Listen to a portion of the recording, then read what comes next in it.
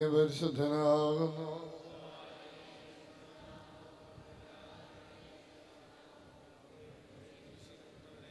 കരുണ ദൈവമേ നീ പരിശുദ്ധനാകുന്നു.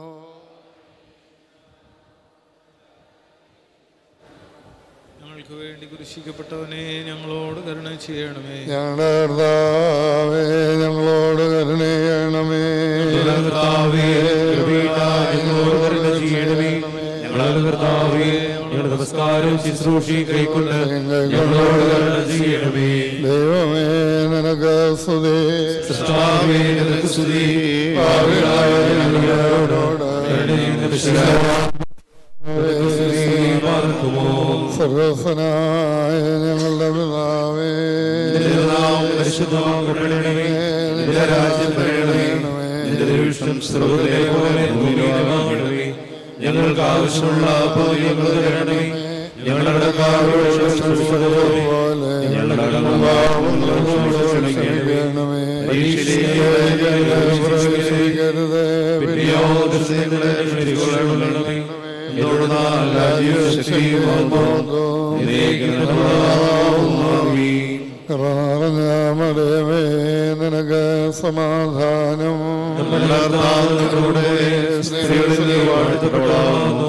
ഉദരഫലമായ നമ്മുടെ വാഴ്ത്തപ്പെടാനാവുന്നു ശുദ്ധമുള്ള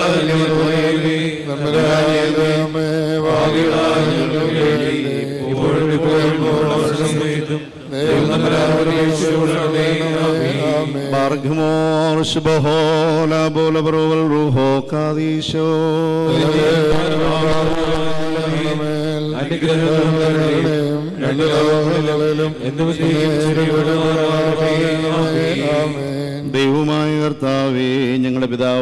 പരിശുദ്ധമാർ ഗ്രിഗോറിയോസിന്റെ ഓർമ്മ ദിവസത്തെ ഉചിതമായി ആഘോഷിപ്പാൻ ഞങ്ങളെ യോഗ്യരാക്കണമേ. ഇവനെ നിന്റെ ആട്ടിൻകൂട്ടത്തിന് ഇടയനായി നീ നിയമിച്ചു. തന്റെ സുഹൃത ജീവിതത്താൾ നിന്റെ ദുരുസന്നിധിയിൽ ഈ വന്യപിതാവ് ഇഷ്ടനായി തീർന്നു. നിന്റെ കൽപ്പനകളുടെ മാർഗത്തിൽ ഈ ആത്മീയ പിതാവ് താല്പര്യത്തോടെ ജീവിതയാത്ര ചെയ്യുകയും നിന്റെ ജനത്തെ സത്യവിശ്വാസം പഠിപ്പിക്കുകയും നല്ല ഇടയനെ പോലെ അവർക്ക് വേണ്ടി നിന്റെ സന്നദ്ധിയിൽ പ്രാർത്ഥിക്കുകയും ചെയ്യുന്നു. നാഥ നിന്റെ കൃപയാൽ ഈ പരിശുദ്ധന്റെ നടപടികളെ പിന്തുടർന്ന് നിന്നെ പ്രീതിപ്പെടുത്തുവാനും നിലനിന്ന് നിന്ന് അനുഗ്രഹങ്ങൾ പ്രാപിപ്പാനും ഞങ്ങളും യോഗ്യരായി തീരണമേ ബറഖ്മോർ ഹോശോ ബബകുല ലവൽമീ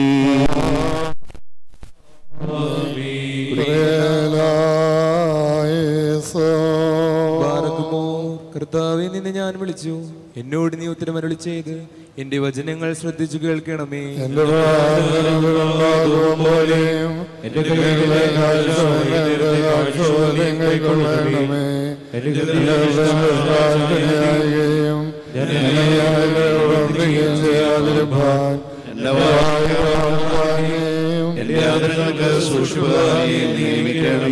ദുഷ്ടമനുഷ്യരോട് ഞാൻ കൂടിച്ചേരുവാനിടയാകരുതേ. നീതിമാൻ എന്നെ പഠിപ്പിക്കുകയും ശാസിക്കുകയും ചെയ്യട്ടെ. ദുഷ്ടന്മാരുടെ സൽക്കാരം കൊണ്ട് ഞാൻ പുഷ്ടിപ്പെടുമാറാകരുതേ. എന്റെ പ്രാർത്ഥന അവരുടെ തിന്മയ്ക്കെതിരായിട്ടാകുന്നുവല്ലോ. അവരുടെ ന്യായാധിപന്മാർ വാരയുടെ മുകളിൽ നിന്ന് തള്ളി വീഴ്ത്തപ്പെടുമ്പോൾ എന്റെ വചനങ്ങൾ ഇമ്പകരമായിരുന്നു എന്ന് അവർ അറിയും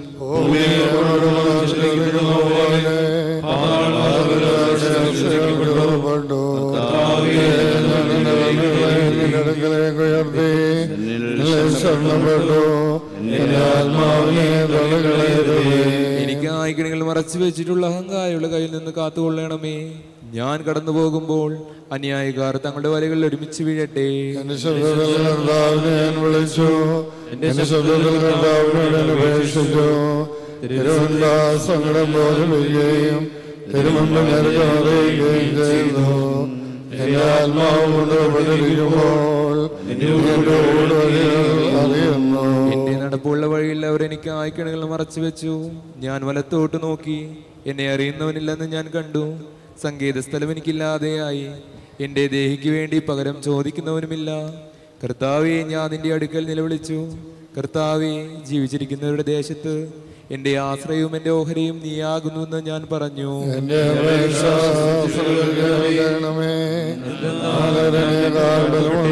തീർന്നു.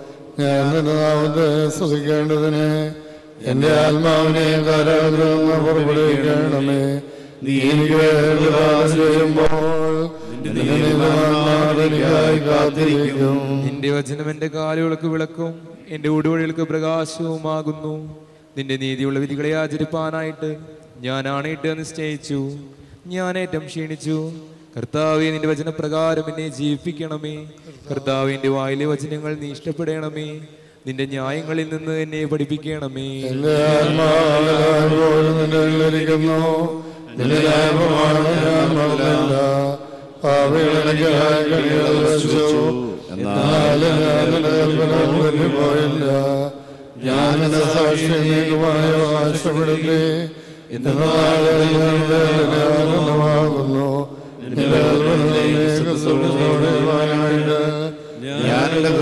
തിരിച്ചു. സകല ജാതികളുമേ കർത്താവിനെ സ്തുതിപ്പിൻ. സകല ജനങ്ങളുമേ അവനെ സ്തുതിപ്പിൻ. എന്തെന്നാൽ അവന്റെ കൃപ നമ്മുടെ മേൽ ബലപ്പെട്ടിരിക്കുന്നു. അവൻ സത്യമായിട്ട് നേക്കും കർത്താവാകുന്നു.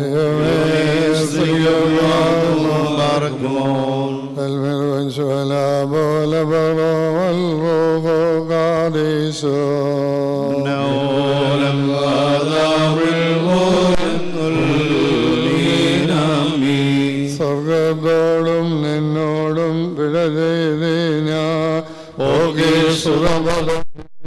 കോലിക്കാരനു സമമെന്നെ ഏറ്റടിയാന. നിർത്തുക നിൻ വീട്ടിൽ സ്തൗമൻ കാലസ്കുയേലായി സോ.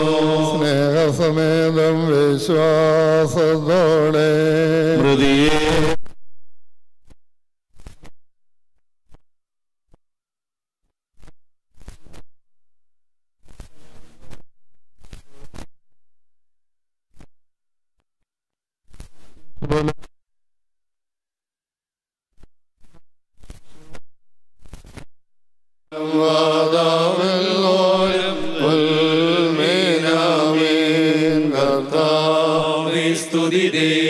നിൻ സ്തുതിവാനിലും മൊഴിയിലും നിന്നെ സ്തുതി ചെയ്യൂ വാനവരൊപ്പം മാനവരും.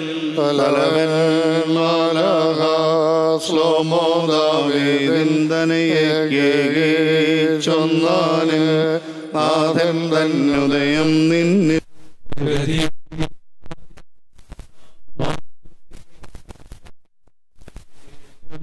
മാനിച്ചാൽ കന്യാ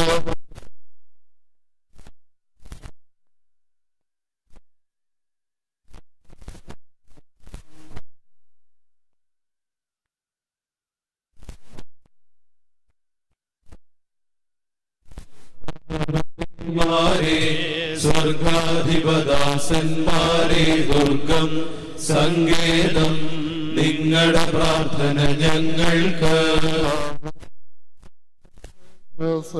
എന്നെ വിളിപ്പിൽ ഞാൻ മുട്ടുകൾ ഞാൻ ഏറ്റവും എന്നല്ലോ നിൻ വാഗ്ദാനം. കൃപസം കൃപ സമ്പാദിക്കാത്തരമുള്ളപ്പോൾ യാചിക്കണമനിശം മടിയെന്നെ പ്രാർത്ഥിക്കണം.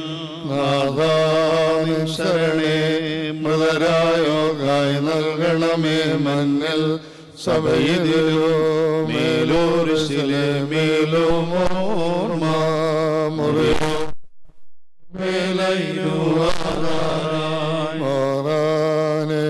മോറാനേശുമശികാനാഥ നിന്ദനവും നിണവും കൊണ്ടോർ ഞങ്ങൾ. വിധിയും പ്രതിപകരവും ഏൽക്കാതവരാ ദർശമ കണ്ടെത്തി പരിചടു നിന്റെ ഫലമായി നിലകൊണ്ടിടണമേഹാലി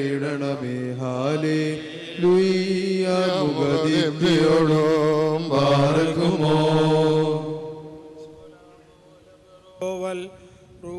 കാദീശോ മനോലം വാദാമല്ലോലം ദിശനാലിലും ആരാധകരെ മുടിചൂടിച്ച രാജാവാം പള്ളികൾ എന്നിവയിൽ ദാവീതാകും കിന്നരമതിനാൽ കീർത്തിതനാം ഹാലേലുയ്യാനാഥൻ ദൈവം.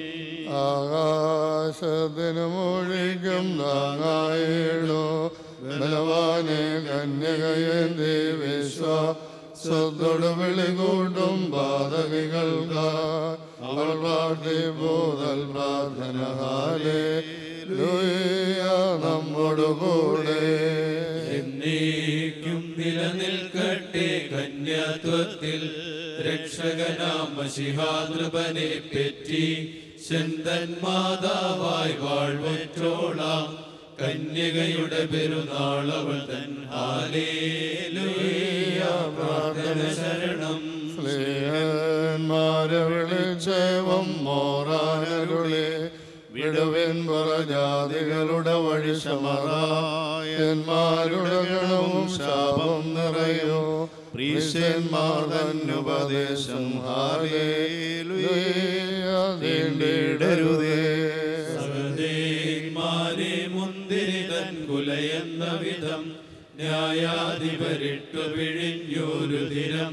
ധരയിലൊഴുക്കിയ ഹോബലിയായോരെ മുടിയണിയിച്ചതിപതി ദൈവം ഹാലേലുയ്യ വിസ്തൃതരാക്കി പകലോൻ പകലുമറിവേക്കാൾ മഹിതങ്കാമ്യ മാർദ്ദോമാ നിന്തുകറോനോ പകലോ പകലൊളി തൂകുന്നു പനിമതിരാവിൽ.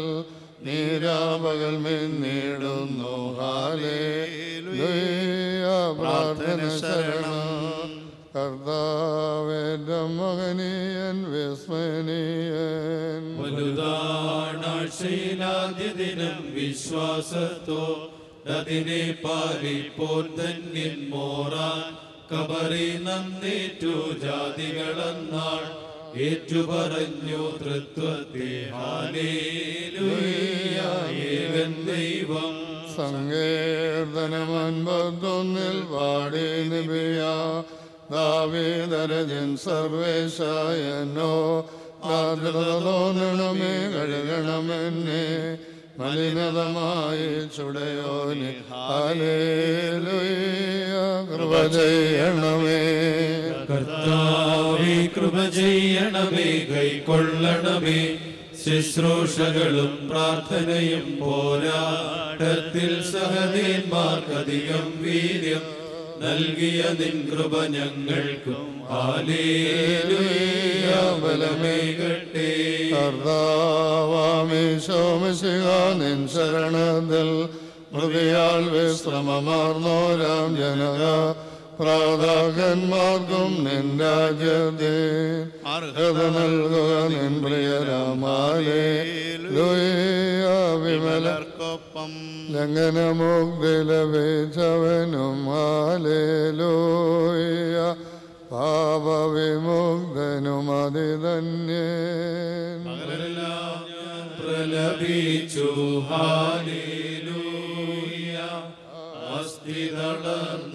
മൗനം പൂണ്ടേ.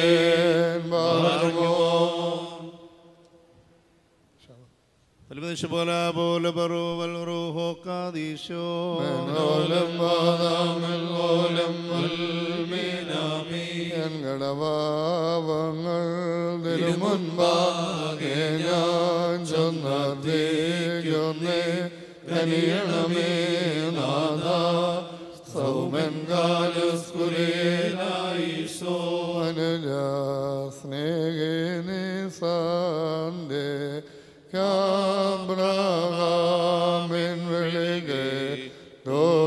ശിബിരത്തിൽ നിന്നെ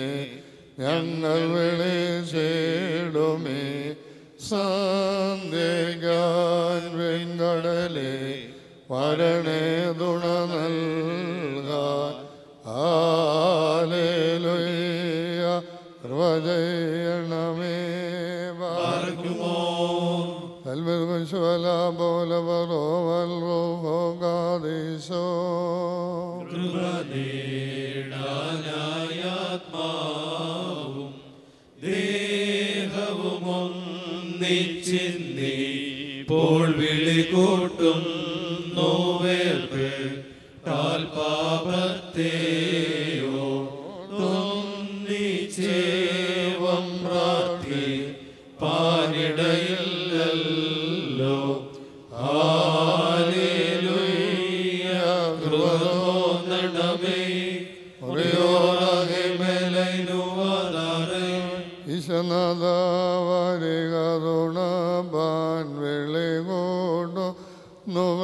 കേട്ടിടാൻ മകൾ മേൽ കൃപ ചെയ്യണം സൂര്യൻ തൻ പ്രഭമായും സായം കാലം സൃഷ്ടാവേ നിൻ സ്തോത്രം പാടാൻ നൽകുക ദീപ്തി ദേവതനുജ നിന്തിരുമൊഴിയൻ കാലിനു ദീപം സൂര്യൻ നോക്കും. തൽപ്രഭയിൽ ഞാൻ നടകൊള്ളേണം. സന്ധ്യാനേരം ബലിയായി നൽകി സ്തോത്രം നിങ്ങൾ സ്നേഹത്തോടെ ലേഖന ബലിക പ്രാർത്ഥന നൽകി നാവും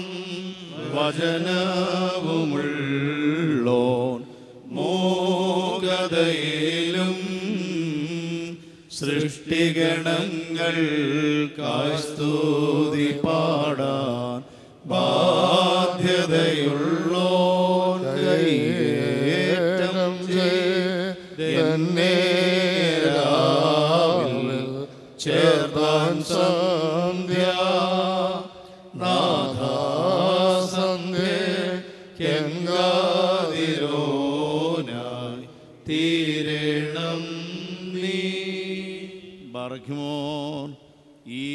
പകൽ സമാധാനത്തോടുകൂടെ കഴിച്ചു കൂട്ടുവാനും ഈ സന്ധിക്ക് ശാന്തതയോടെ വന്നെടുക്കുവാനും ഞങ്ങളെ യോഗ്യരാക്കി തീർത്ത ദൈവുള്ള കർത്താവേ നിന്നെ ഞങ്ങൾ സ്തോത്രം ചെയ്യുന്നു. എന്റെ കർത്താവേ തിരുസന്നിധിയിൽ ഞങ്ങൾ കഴിക്കുന്നതായ ഈ പ്രാർത്ഥനയെ കൈക്കൊള്ളണമേ. ദുഷ്ടന്റെ ദുരിതവേഷത്തിൽ നിന്ന് ഞങ്ങളെ നീ സംരക്ഷിക്കണമേ. വഞ്ചകന്റെ സകല കണികളെയും ഞങ്ങളിൽ നിന്ന് മായ്ച്ചു കളയണമേ. വിചാരങ്ങളിൽ നിന്നും അലച്ചിലുകളിൽ നിന്നുമുള്ള അടക്കത്തോടുകൂടി ഈ സന്ധ്യയും രാത്രിയും കഴിച്ചു കൂട്ടുവാനും ഞങ്ങൾക്ക് നീ സംഗതിയാക്കണമേ. സാത്താന്യമായ മോഹങ്ങളാൽ ഞങ്ങൾ പരീക്ഷിക്കപ്പെടരുതേ.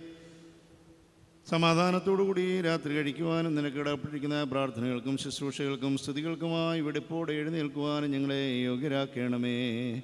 ഞങ്ങളുടെ കർത്താവ് ഞങ്ങളുടെ ദൈവമായുള്ളവേ എല്ലാ നേരത്തും സ്തുതിയും സ്തോത്രവും നിനക്ക് യോഗ്യമാവുന്നു.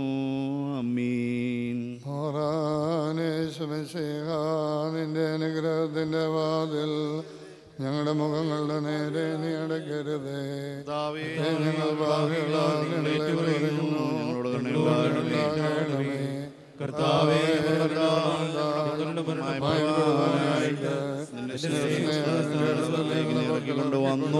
ഞങ്ങളോട് കരുണ ചെയ്യണമേ.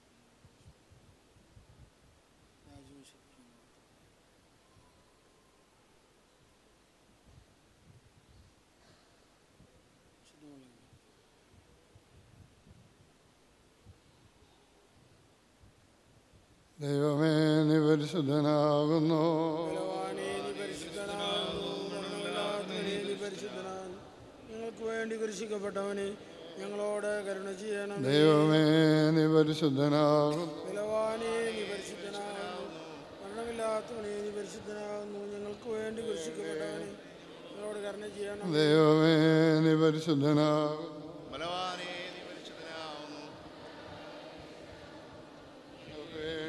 രക്ഷിക്കപ്പെട്ടവനെ ഞങ്ങളുടെ കർത്താവേ ഞങ്ങളോട് കരുണയേണമേ ഞങ്ങളോട് കൊണ്ട് ഞങ്ങളോട് ദൈവമേ നിനക്ക്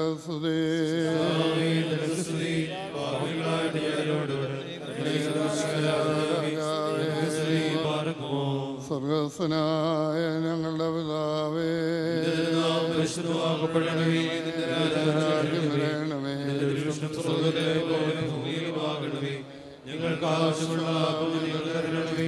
ഞങ്ങളുടെ ഞങ്ങൾ ക്ഷമിച്ചതുപോലെ ഞങ്ങളുടെ പാപങ്ങളും ഞങ്ങളോട് ക്ഷമിക്കണമേ. ക്ഷമിക്കണമേ.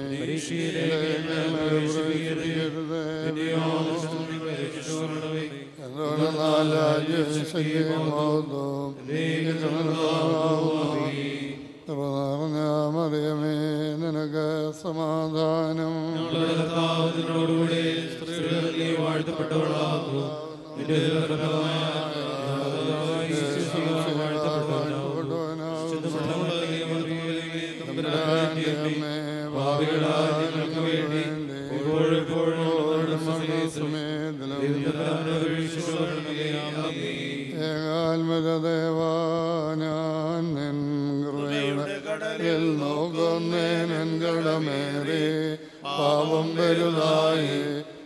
sopaenme el voce, gelmelinidal venmelan gelum nenin, tenagas negada, en vayrigal mori, sirlan enadavam badagil, duda samoga, mori choderde, pachadavamiyal nore, രാവകൾ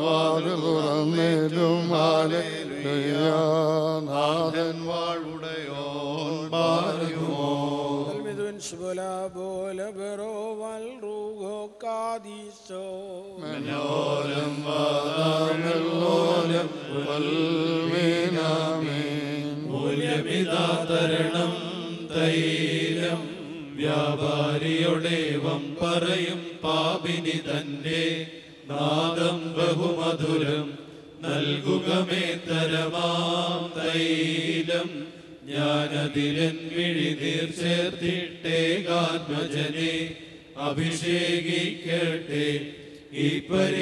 പരിമള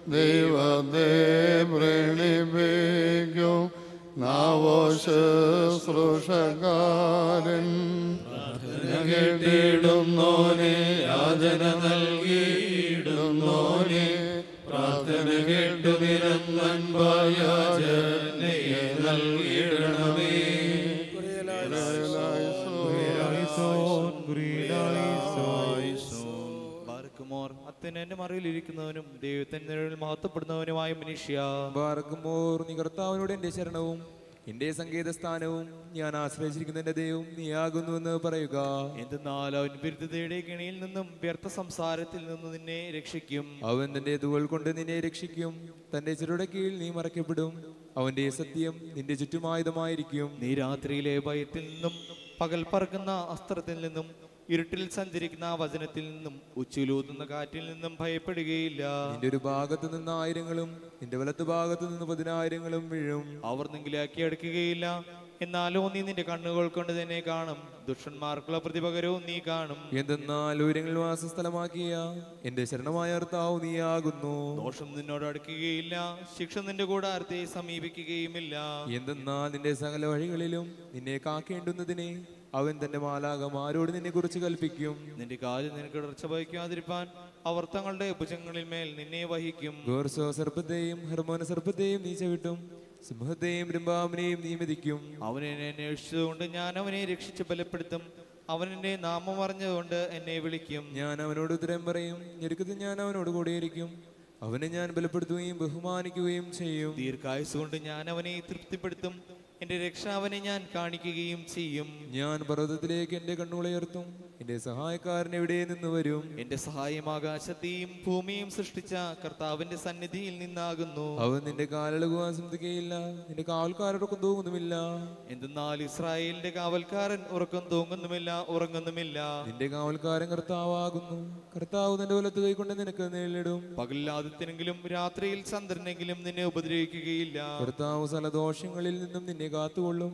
കർത്താവ് നിന്റെ ആത്മാവിനെ കാത്തുകൊള്ളും. അവൻ നിന്റെ ഗമനത്തെയും നിന്റെ ആഗമനത്തെയും ഇന്നു മുതൽ നീക്കും കാത്തുകൊള്ളും. ദൈവമേ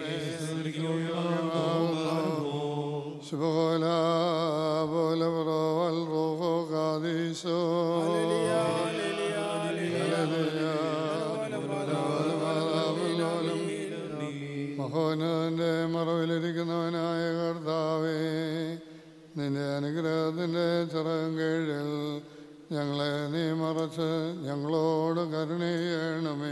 സകലവും നീ കേൾക്കണമേ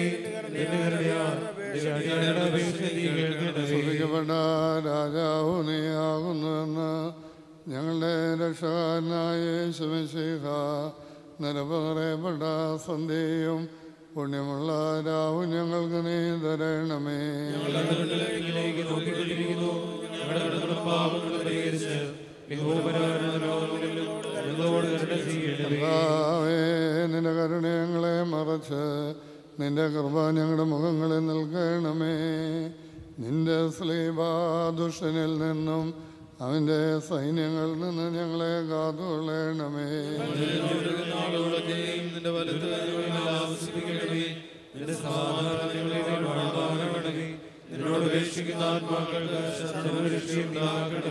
നിന്നെ പ്രസവിച്ച മറിയാമിന്റെയും നിന്റെ സകല പരിശുദ്ധന്മാരുടെയും പ്രാർത്ഥനയാൽ ദൈവമേ. ഞങ്ങളുടെ കടങ്ങൾക്ക് പരിഹാരമുണ്ടാക്കി ഞങ്ങളോട് കരുണേണമേ ആമീൻ. എന്നേക്കും നിന്റെ ഇടത്തിൽ നിന്ന് കർത്താവിന്റെ ബഹുമാനം വാഴ്ത്തപ്പെട്ടതാകുന്നു. നിന്റെ ബഹുമാനം വാഴ്ത്തപ്പെട്ടതാകുന്നു. എന്നേക്കും നിന്റെ അടുത്ത് കർത്താന്റെ ബഹുമാനം വാഴ്ത്തപ്പെട്ടതാകുന്നു.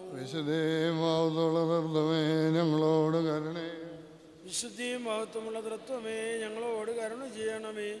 വിശുദ്ധിയും മഹത്വമുള്ള തൃത്വമേ കൃപയുണ്ടായി. ഞങ്ങളോട് കരുണ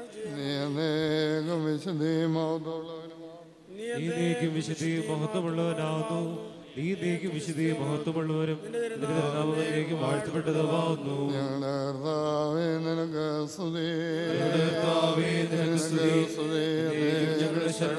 ഞങ്ങളുടെ സ്തുതി. പാർക്കുമോ? സ്വർഗസ്വനായ ഞങ്ങളുടെ പിതാവേ. നാമം പരിശുദ്ധമാകപ്പെടണമേ നിന്റെ രാജ്യം വരണമേ. നിന്റെ ദൃഷ്ടം സർവതിലെ പോലെ ഞങ്ങൾക്ക് ആവശ്യമുള്ള അപ്പം ഞങ്ങൾക്ക് തരണമേ. ഞങ്ങളുടെ കടക്കാരോട് ഞങ്ങൾ ക്ഷമിച്ചതുപോലെ ഞങ്ങളുടെ കടങ്ങൾ ഞങ്ങളോട് ക്ഷമിക്കണമേ. പരീക്ഷയിലേക്ക് ഞങ്ങളെ പ്രവേശിപ്പിക്കരുതേ. പിന്നെയോ ദുഷ്ടനിൽ നിന്ന് ഞങ്ങളെ രക്ഷിച്ചുകൊള്ളണമേ.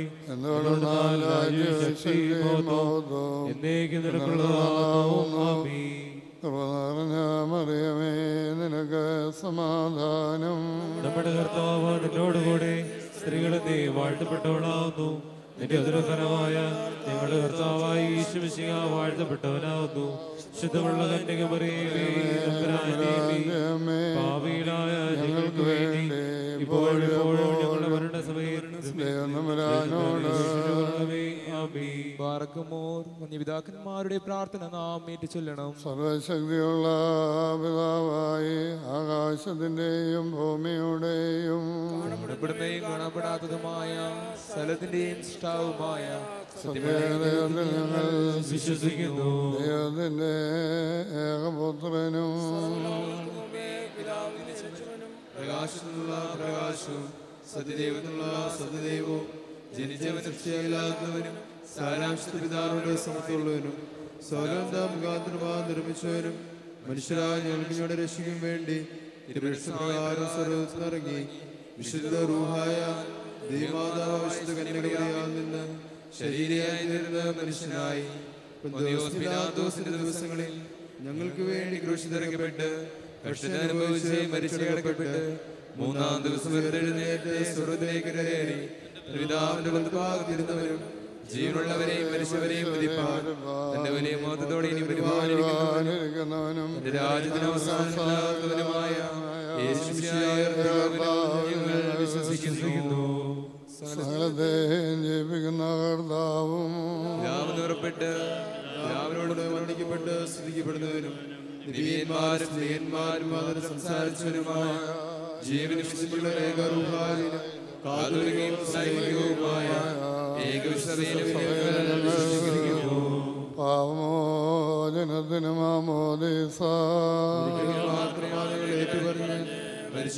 ഉയർപ്പിനും ഒരു ബാല്യം ലോകത്തിന്റെ പുതിയ ജീവനുമായ നോക്കി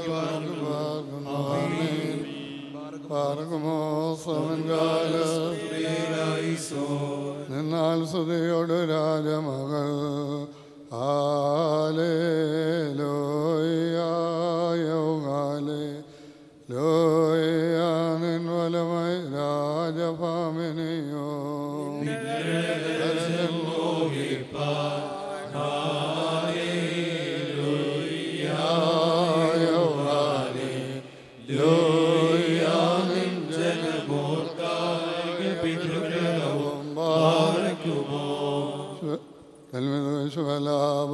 Bhagavaro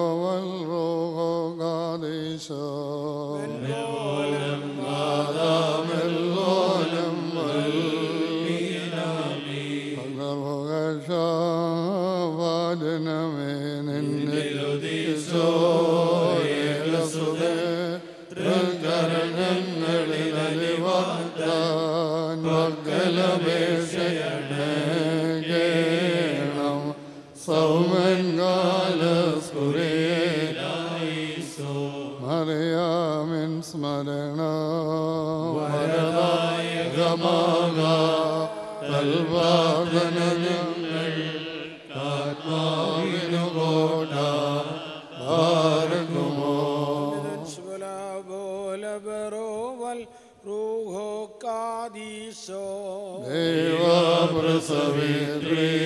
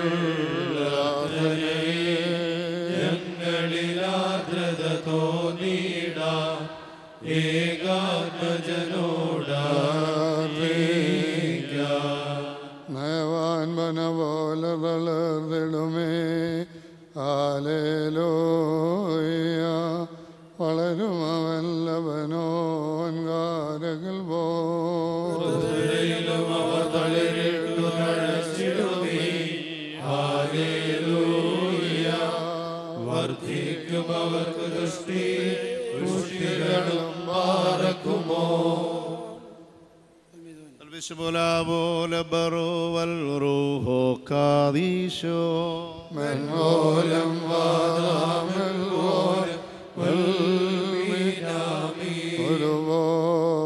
ഒരുപോലെങ്കും മാർദോമാർ ഭദ്രോസ് പൗലോസ് ലീഗന്മാരെ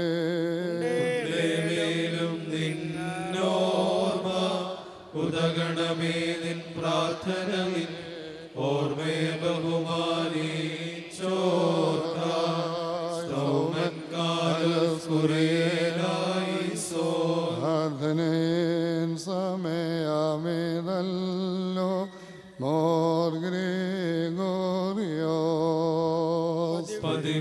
Glory.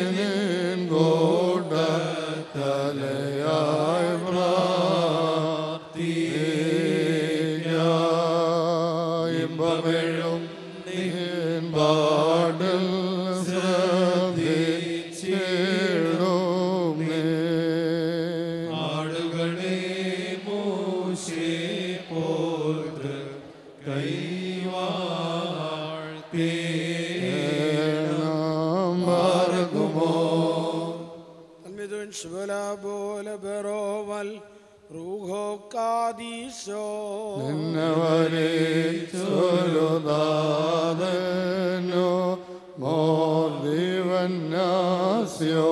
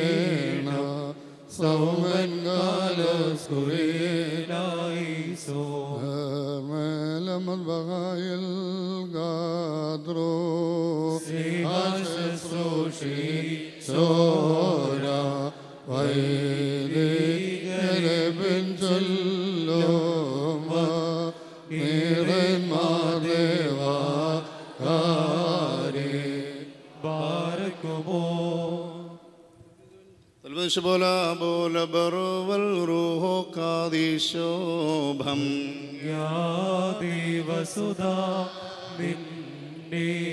शुश्रूष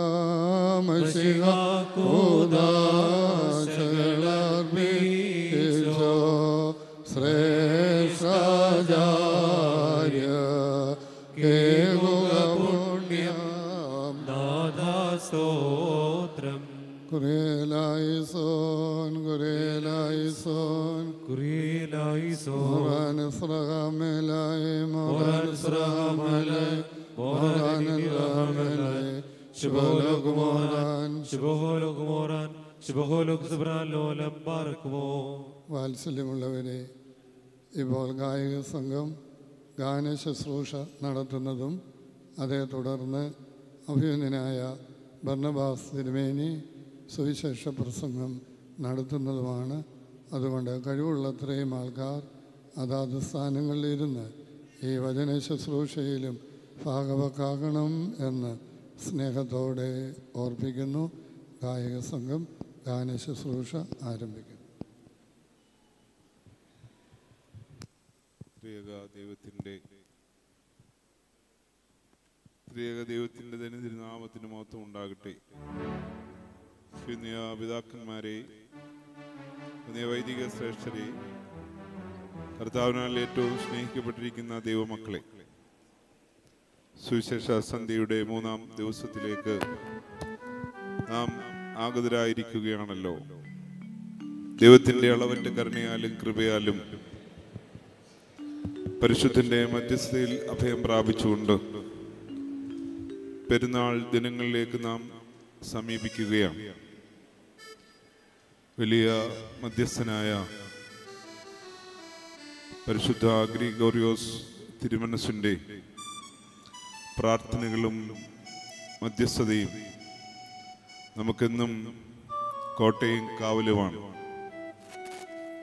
അനേകർക്ക് രോഗ ദുഃഖ ദുരിതങ്ങളിൽ നിന്നുള്ള വിടുതലായി ആശ്വാസമായി നിത്യസമാധാനമായി പരിശുദ്ധനായ തിരുമേനി തീർന്നിരിക്കുന്നു. പകൽ സമയത്തെ അധ്വാനങ്ങളൊക്കെയും ശരീരം വിരമിച്ച് ലൗകിക ചിന്തകളുടെ മനസ്സ് പിൻവാങ്ങി ഈ സന്ധ്യയിലേക്ക് നാം കടന്നു വന്നിരിക്കുന്ന നിമിഷങ്ങളിൽ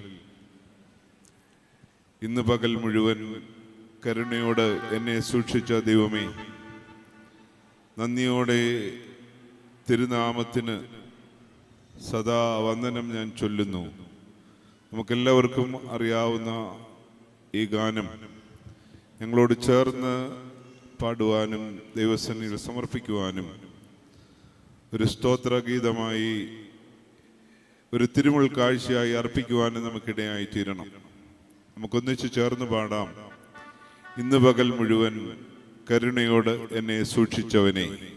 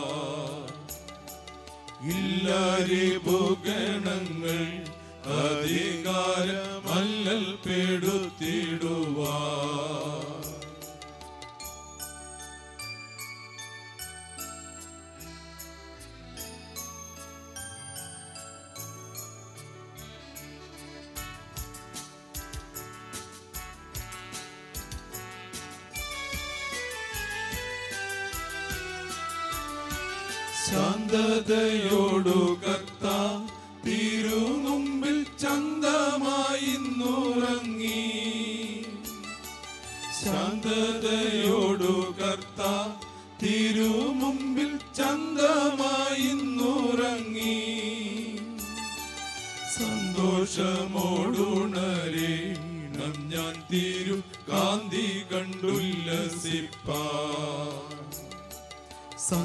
സന്തോഷമോടുണരേ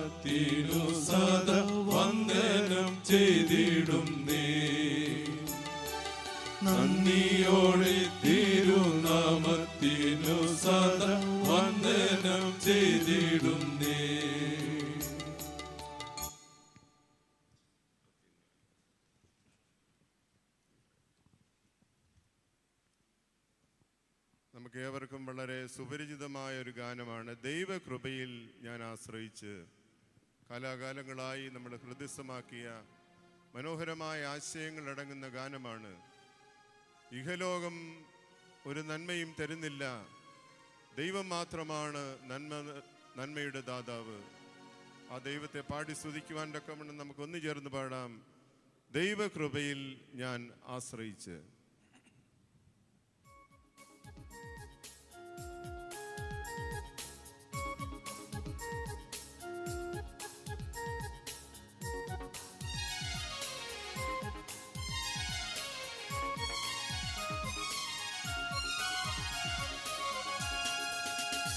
ദൈവകൃപയിൽ ഞാൻ ആശ്രയിച്ച് അവൻ വഴികളെ ഞാൻ അറിഞ്ഞ് അനുഗമിച്ചിടും അവനുടെ ചുവടുകളെ അനുഗമിച്ചിടും അവനുടെ ചുവടുകളെ ദൈവകൃപയിൽ ഞാൻ ആശ്രയിച്ച് അവൻ വഴികളെ ഞാൻ അറിഞ്ഞ് അനുഗമിച്ചിടും അവനുടെ ചുവടുകളെ അനുഗമിച്ചിടും അവനുടെ ചുവടുകളെ ദൈവകൃപയിൽ ഞാൻ ആശ്രയിച്ച്.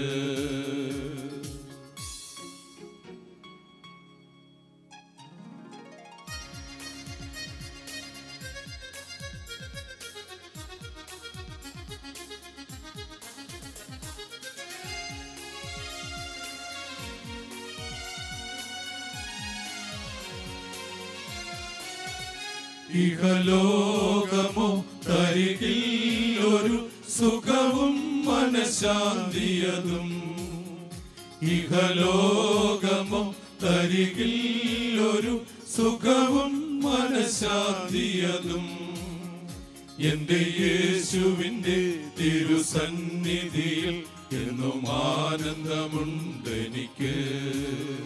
എന്റെ യേശുവിന്റെ തിരുസന്നിധിയിൽ എന്നും ആനന്ദമുണ്ടെനിക്ക് ദൈവകൃപയിൽ ഞാൻ ആശ്രയിച്ച്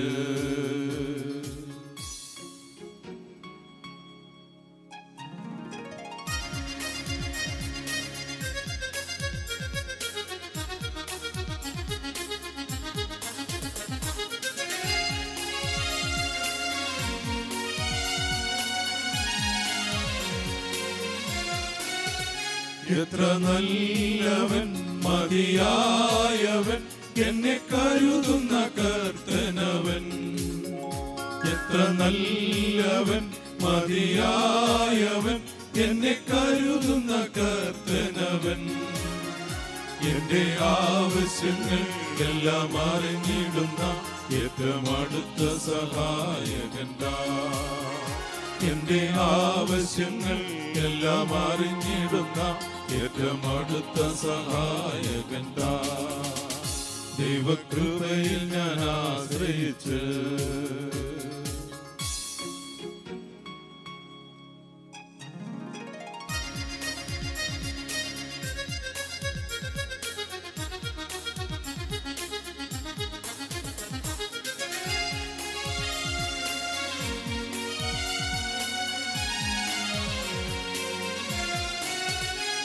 മനോവേദന ഫലശോധന മമ ജീവിത പാതയതിൽ മനോവേദന ഫലശോധന മമ ജീവിത പാതയതിൽ മാറാതേറിടുമ്പോൾ ആത്മനാഥനവൻ മാറിച്ചായി ഞാൻ ആശ്വസിക്കും മാറാതേറിടുമ്പോൾ ആത്മനാഥനവൻ മാറിച്ചായി ഞാൻ ആശ്വസിക്കും.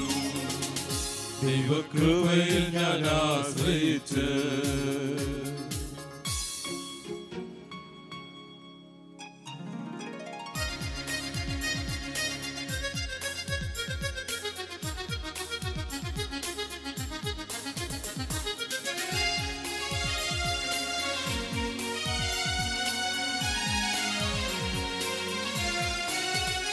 എന്റെ ആയുസിൻ ദിനമൊക്കെയും തന്റെ നാമമഹത്വത്തിനായി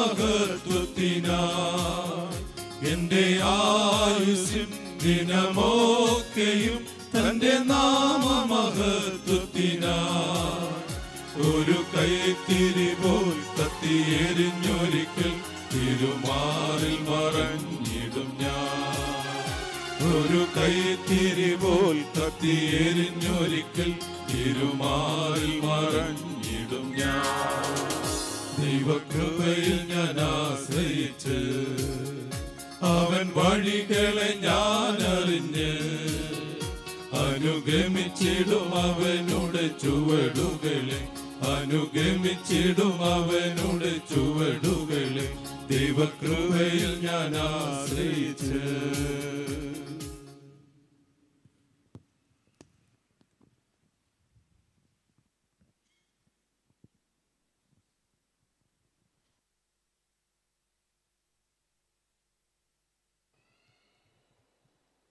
ഇന്നേ ദിവസം വിശുദ്ധ വചനഘോഷണം നടത്തി നമ്മളെ അനുഗ്രഹിക്കുന്നത്. ഏറ്റവും ബഹുമാനായ ഡോക്ടർ ഗീവർഗീസ് മാർ ബ്രഹ്മബാസ് തിരുമനസ്സുകൊണ്ടാണ്. തിരുമനസ്സുകൊണ്ട് ഇപ്പോൾ സുൽത്താൻ ബത്തേരി ഭദ്രാസനത്തിന്റെ ആയി സേവനം അനുഷ്ഠിക്കുന്നു. സുൽത്താൻ ബത്തേരി കോളേജിന്റെ മാനേജർ കൂടിയായി തിരുമേനി പ്രവർത്തിക്കുന്നു. കൂടാതെ പരിശുദ്ധ ബാബാദമത്സന്റെ കൽപ്പന പ്രകാരം നമ്മുടെ സഭയുടെ പബ്ലിക് സ്കൂളുകളുടെ മാനേജർ കൂടിയായി ബഹുമാന അഭിനയ തിരുമനസ്സുണ്ട് വളരെ പ്രശസ്തമായ രീതിയിൽ സേവനം അനുഷ്ഠിക്കുന്നു. അഭിനയ തിരുമേനിയുടെ എല്ലാവിധമായ ഭക്തി ആദരങ്ങളും അർപ്പിച്ചുകൊണ്ട് ഇന്നത്തെ വചന ഘോഷണത്തിന് വേണ്ടി വളരെ വിനയപൂർവം സ്വാഗതം ചെയ്യും.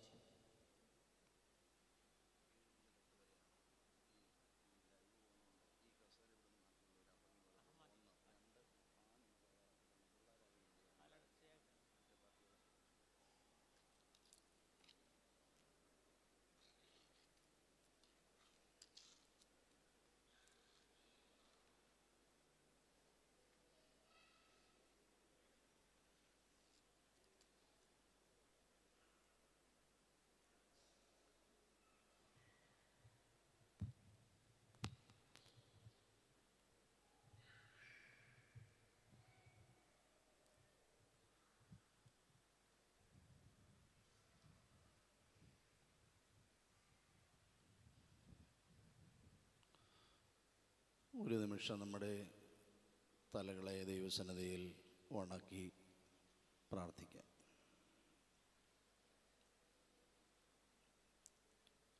ഞങ്ങളെ അത്യധികമായി സ്നേഹിക്കുന്ന സ്വർഗീയ പിതാവാം ദൈവമേ ഈ സായം സന്ധ്യയിൽ പരിശുദ്ധ ആലയത്തിൽ നിന്നെ ആരാധിച്ചും നിന്നെ ആദരിച്ചും നിന്റെ വചനത്തിൽ നിന്ന് ശ്രവിക്കുവാനായി ഞങ്ങളിതാ കൂടിയിരിക്കുന്നു. അടിയങ്ങളെ തൃക്കൻ പാർക്കണമേ. അവിടുത്തെ ധന്യമായ നാമത്തിൽ ഇത്തരത്തിലുള്ള കൂടിവരവിൽ നിന്റെ സാന്നിധ്യം മൂലം ഞങ്ങളെ സമ്പന്നമാക്കുമെന്ന് വാഗ്ദത്തം ചെയ്തിരിക്കുന്നതിൽ ഞങ്ങൾ വിശ്വസിക്കുന്നു. ഞങ്ങളുടെ ജീവിതം കുറവുള്ളതാകുന്നു കുറ്റമുള്ളതാകുന്നു ഞങ്ങളാകേണ്ടതുപോലെ ആകുവാൻ ഇതുവരെയും സാധിച്ചിട്ടില്ല. ഞങ്ങളെ യഥാസ്ഥാനപ്പെടുത്തി ഞങ്ങളെ ശുദ്ധീകരിച്ച് നിനക്കിഷ്ടരായി ജീവിപ്പാൻ പുനഃപ്രതിഷ്ഠിക്കണമേ എന്ന് പ്രാർത്ഥിക്കുന്നു. കർത്താവെ ഞങ്ങളുടെ കുറവുള്ളതായ പ്രാർത്ഥനകൾ കേട്ട് ഞങ്ങളെ അനുഗ്രഹിക്കണമേ. ആയത് ഞങ്ങൾ നിനക്കും നിന്റെ പിതാവിനും പരിശുദ്ധ എന്ന എന്നേക്കും സ്തുതിയും സ്തോത്രവും സമർപ്പിക്കുവാനായിട്ട് തന്നെ. ആമേ ദൈവ തിരുനാമത്തിന് മഹത്വം ഉണ്ടാകട്ടെ. ആതിരണ്യരായ കോർപ്പിസ്കോപ്പാച്ചന്മാർ വന്യ റമ്പാച്ചന്മാർ വന്യ വൈദിക ശ്രേഷ്ഠർ ഷമ്മാശന്മാർ വൈദിക സെമിനാരി വിദ്യാർത്ഥികൾ ദേവാലയത്തിൽ ഇരുന്ന് ഈ ധ്യാനത്തിൽ പങ്കെടുക്കുന്നവരും മറ്റ് മാധ്യമങ്ങൾ കൂടെ ഇതിൽ ഭാഗവാക്കാകുന്ന എല്ലാവർക്കും ക്രിസ്തുവേശുവിൽ സ്നേഹ വന്ദനം. മലങ്കരയുടെ പരിശുദ്ധി അതിന്റെ പരിമളം ലോകത്തിൽ എല്ലായിടത്തേക്കും വ്യാപരിപ്പിക്കുന്ന പരിശുദ്ധ പരിമല തിരുമേനിയുടെ നൂറ്റി ഇരുപത്തൊന്നാം ഓർമ്മ പെരുന്നാളിൽ ഈ സന്ധിയിൽ ഇവിടെ ആയിരിക്കാനും ദൈവവചനത്തിൽ നിന്ന് ധ്യാനിപ്പാനും അവസരം ലഭിച്ചതിനെ ഓർത്ത് ഞാൻ ദൈവത്തെ മഹത്വപ്പെടുത്തുന്നു.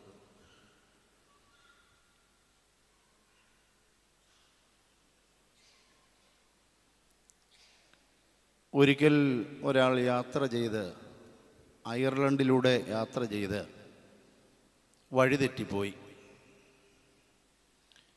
വഴിതെറ്റി അദ്ദേഹത്തിന് പോകേണ്ട സ്ഥലത്തേക്ക് പോകുവാൻ ഒരു നിവൃത്തിയുമില്ലാതെ ഒരു വിഷമഘട്ടത്തിലെത്തിയപ്പോൾ അദ്ദേഹം അതുവഴി വന്ന ഒരു കർഷകനോട് ചോദിച്ചു where should I begin to go to Dublin ഡബ്ലിനിലേക്ക് പോകണമെങ്കിൽ ഞാൻ എവിടെ നിന്ന് തുടങ്ങണം? ഇപ്പോൾ ആയിരിക്കുന്ന സ്ഥലത്തു നിന്ന് പോകാൻ സാധിക്കുമോ എന്നാണ് അതിന്റെ അർത്ഥം. കർഷകൻ അദ്ദേഹത്തോട് പറഞ്ഞു if I wanted to go to Dublin I should not begin from here എനിക്ക് ഡബ്ലിനിലോട്ട് പോകണമെന്നിരുന്നാൽ പോകേണ്ടതായി വന്നാൽ ഞാൻ എവിടെ നിന്ന് ആരംഭിക്കുകയില്ല. നമ്മുടെ എല്ലാ ജീവരുടെയും ജീവിതത്തിൽ നേരിടുന്ന ഏറ്റവും വലിയ ഒരു വിഷമത ഒരു വലിയ ചോദ്യം. നമ്മുടെ ജീവിതം എവിടെ നിന്ന് ആരംഭിക്കണം എന്ന. Where should do begin to leave നമ്മൾ ജനിച്ചു മാമോദിസയിലൂടെ ഒരു പുനർജനനവും നടത്തി ജീവിത വ്യാപാരങ്ങളിൽ ഏർപ്പെട്ട് ഇങ്ങനെ യാത്ര ചെയ്തു പോകുന്നവരാണ്. പ്രായഭേദമന്യേ അങ്ങനെ യാത്രയിലാണ്. പക്ഷേ ഈ want to really make a new beginning, where should we start? ഒരു പുതുക്കം ഒരു പുതിയ തുടക്കം കുറിക്കണമെങ്കിൽ നമ്മൾ എവിടെ നിന്ന് ആരംഭിക്കും എന്നുള്ളതാണ് ഈ സന്ധ്യയിൽ നിങ്ങളുമൊത്ത് ചിന്തിക്കുവാൻ ഞാൻ കർത്താവിൽ ശരണപ്പെടുന്ന ഒരു വേദഭാഗം വിശുദ്ധ ലൂക്കോസിന്റെ സുവിശേഷം ഏഴാം അധ്യായം മുപ്പത്താറ് മുതൽ നാൽപ്പത്തി എട്ട് വരെയുള്ള വാക്യങ്ങളാണ് സുദീർഘമായ ഒരു വേദഭാഗമാണ്.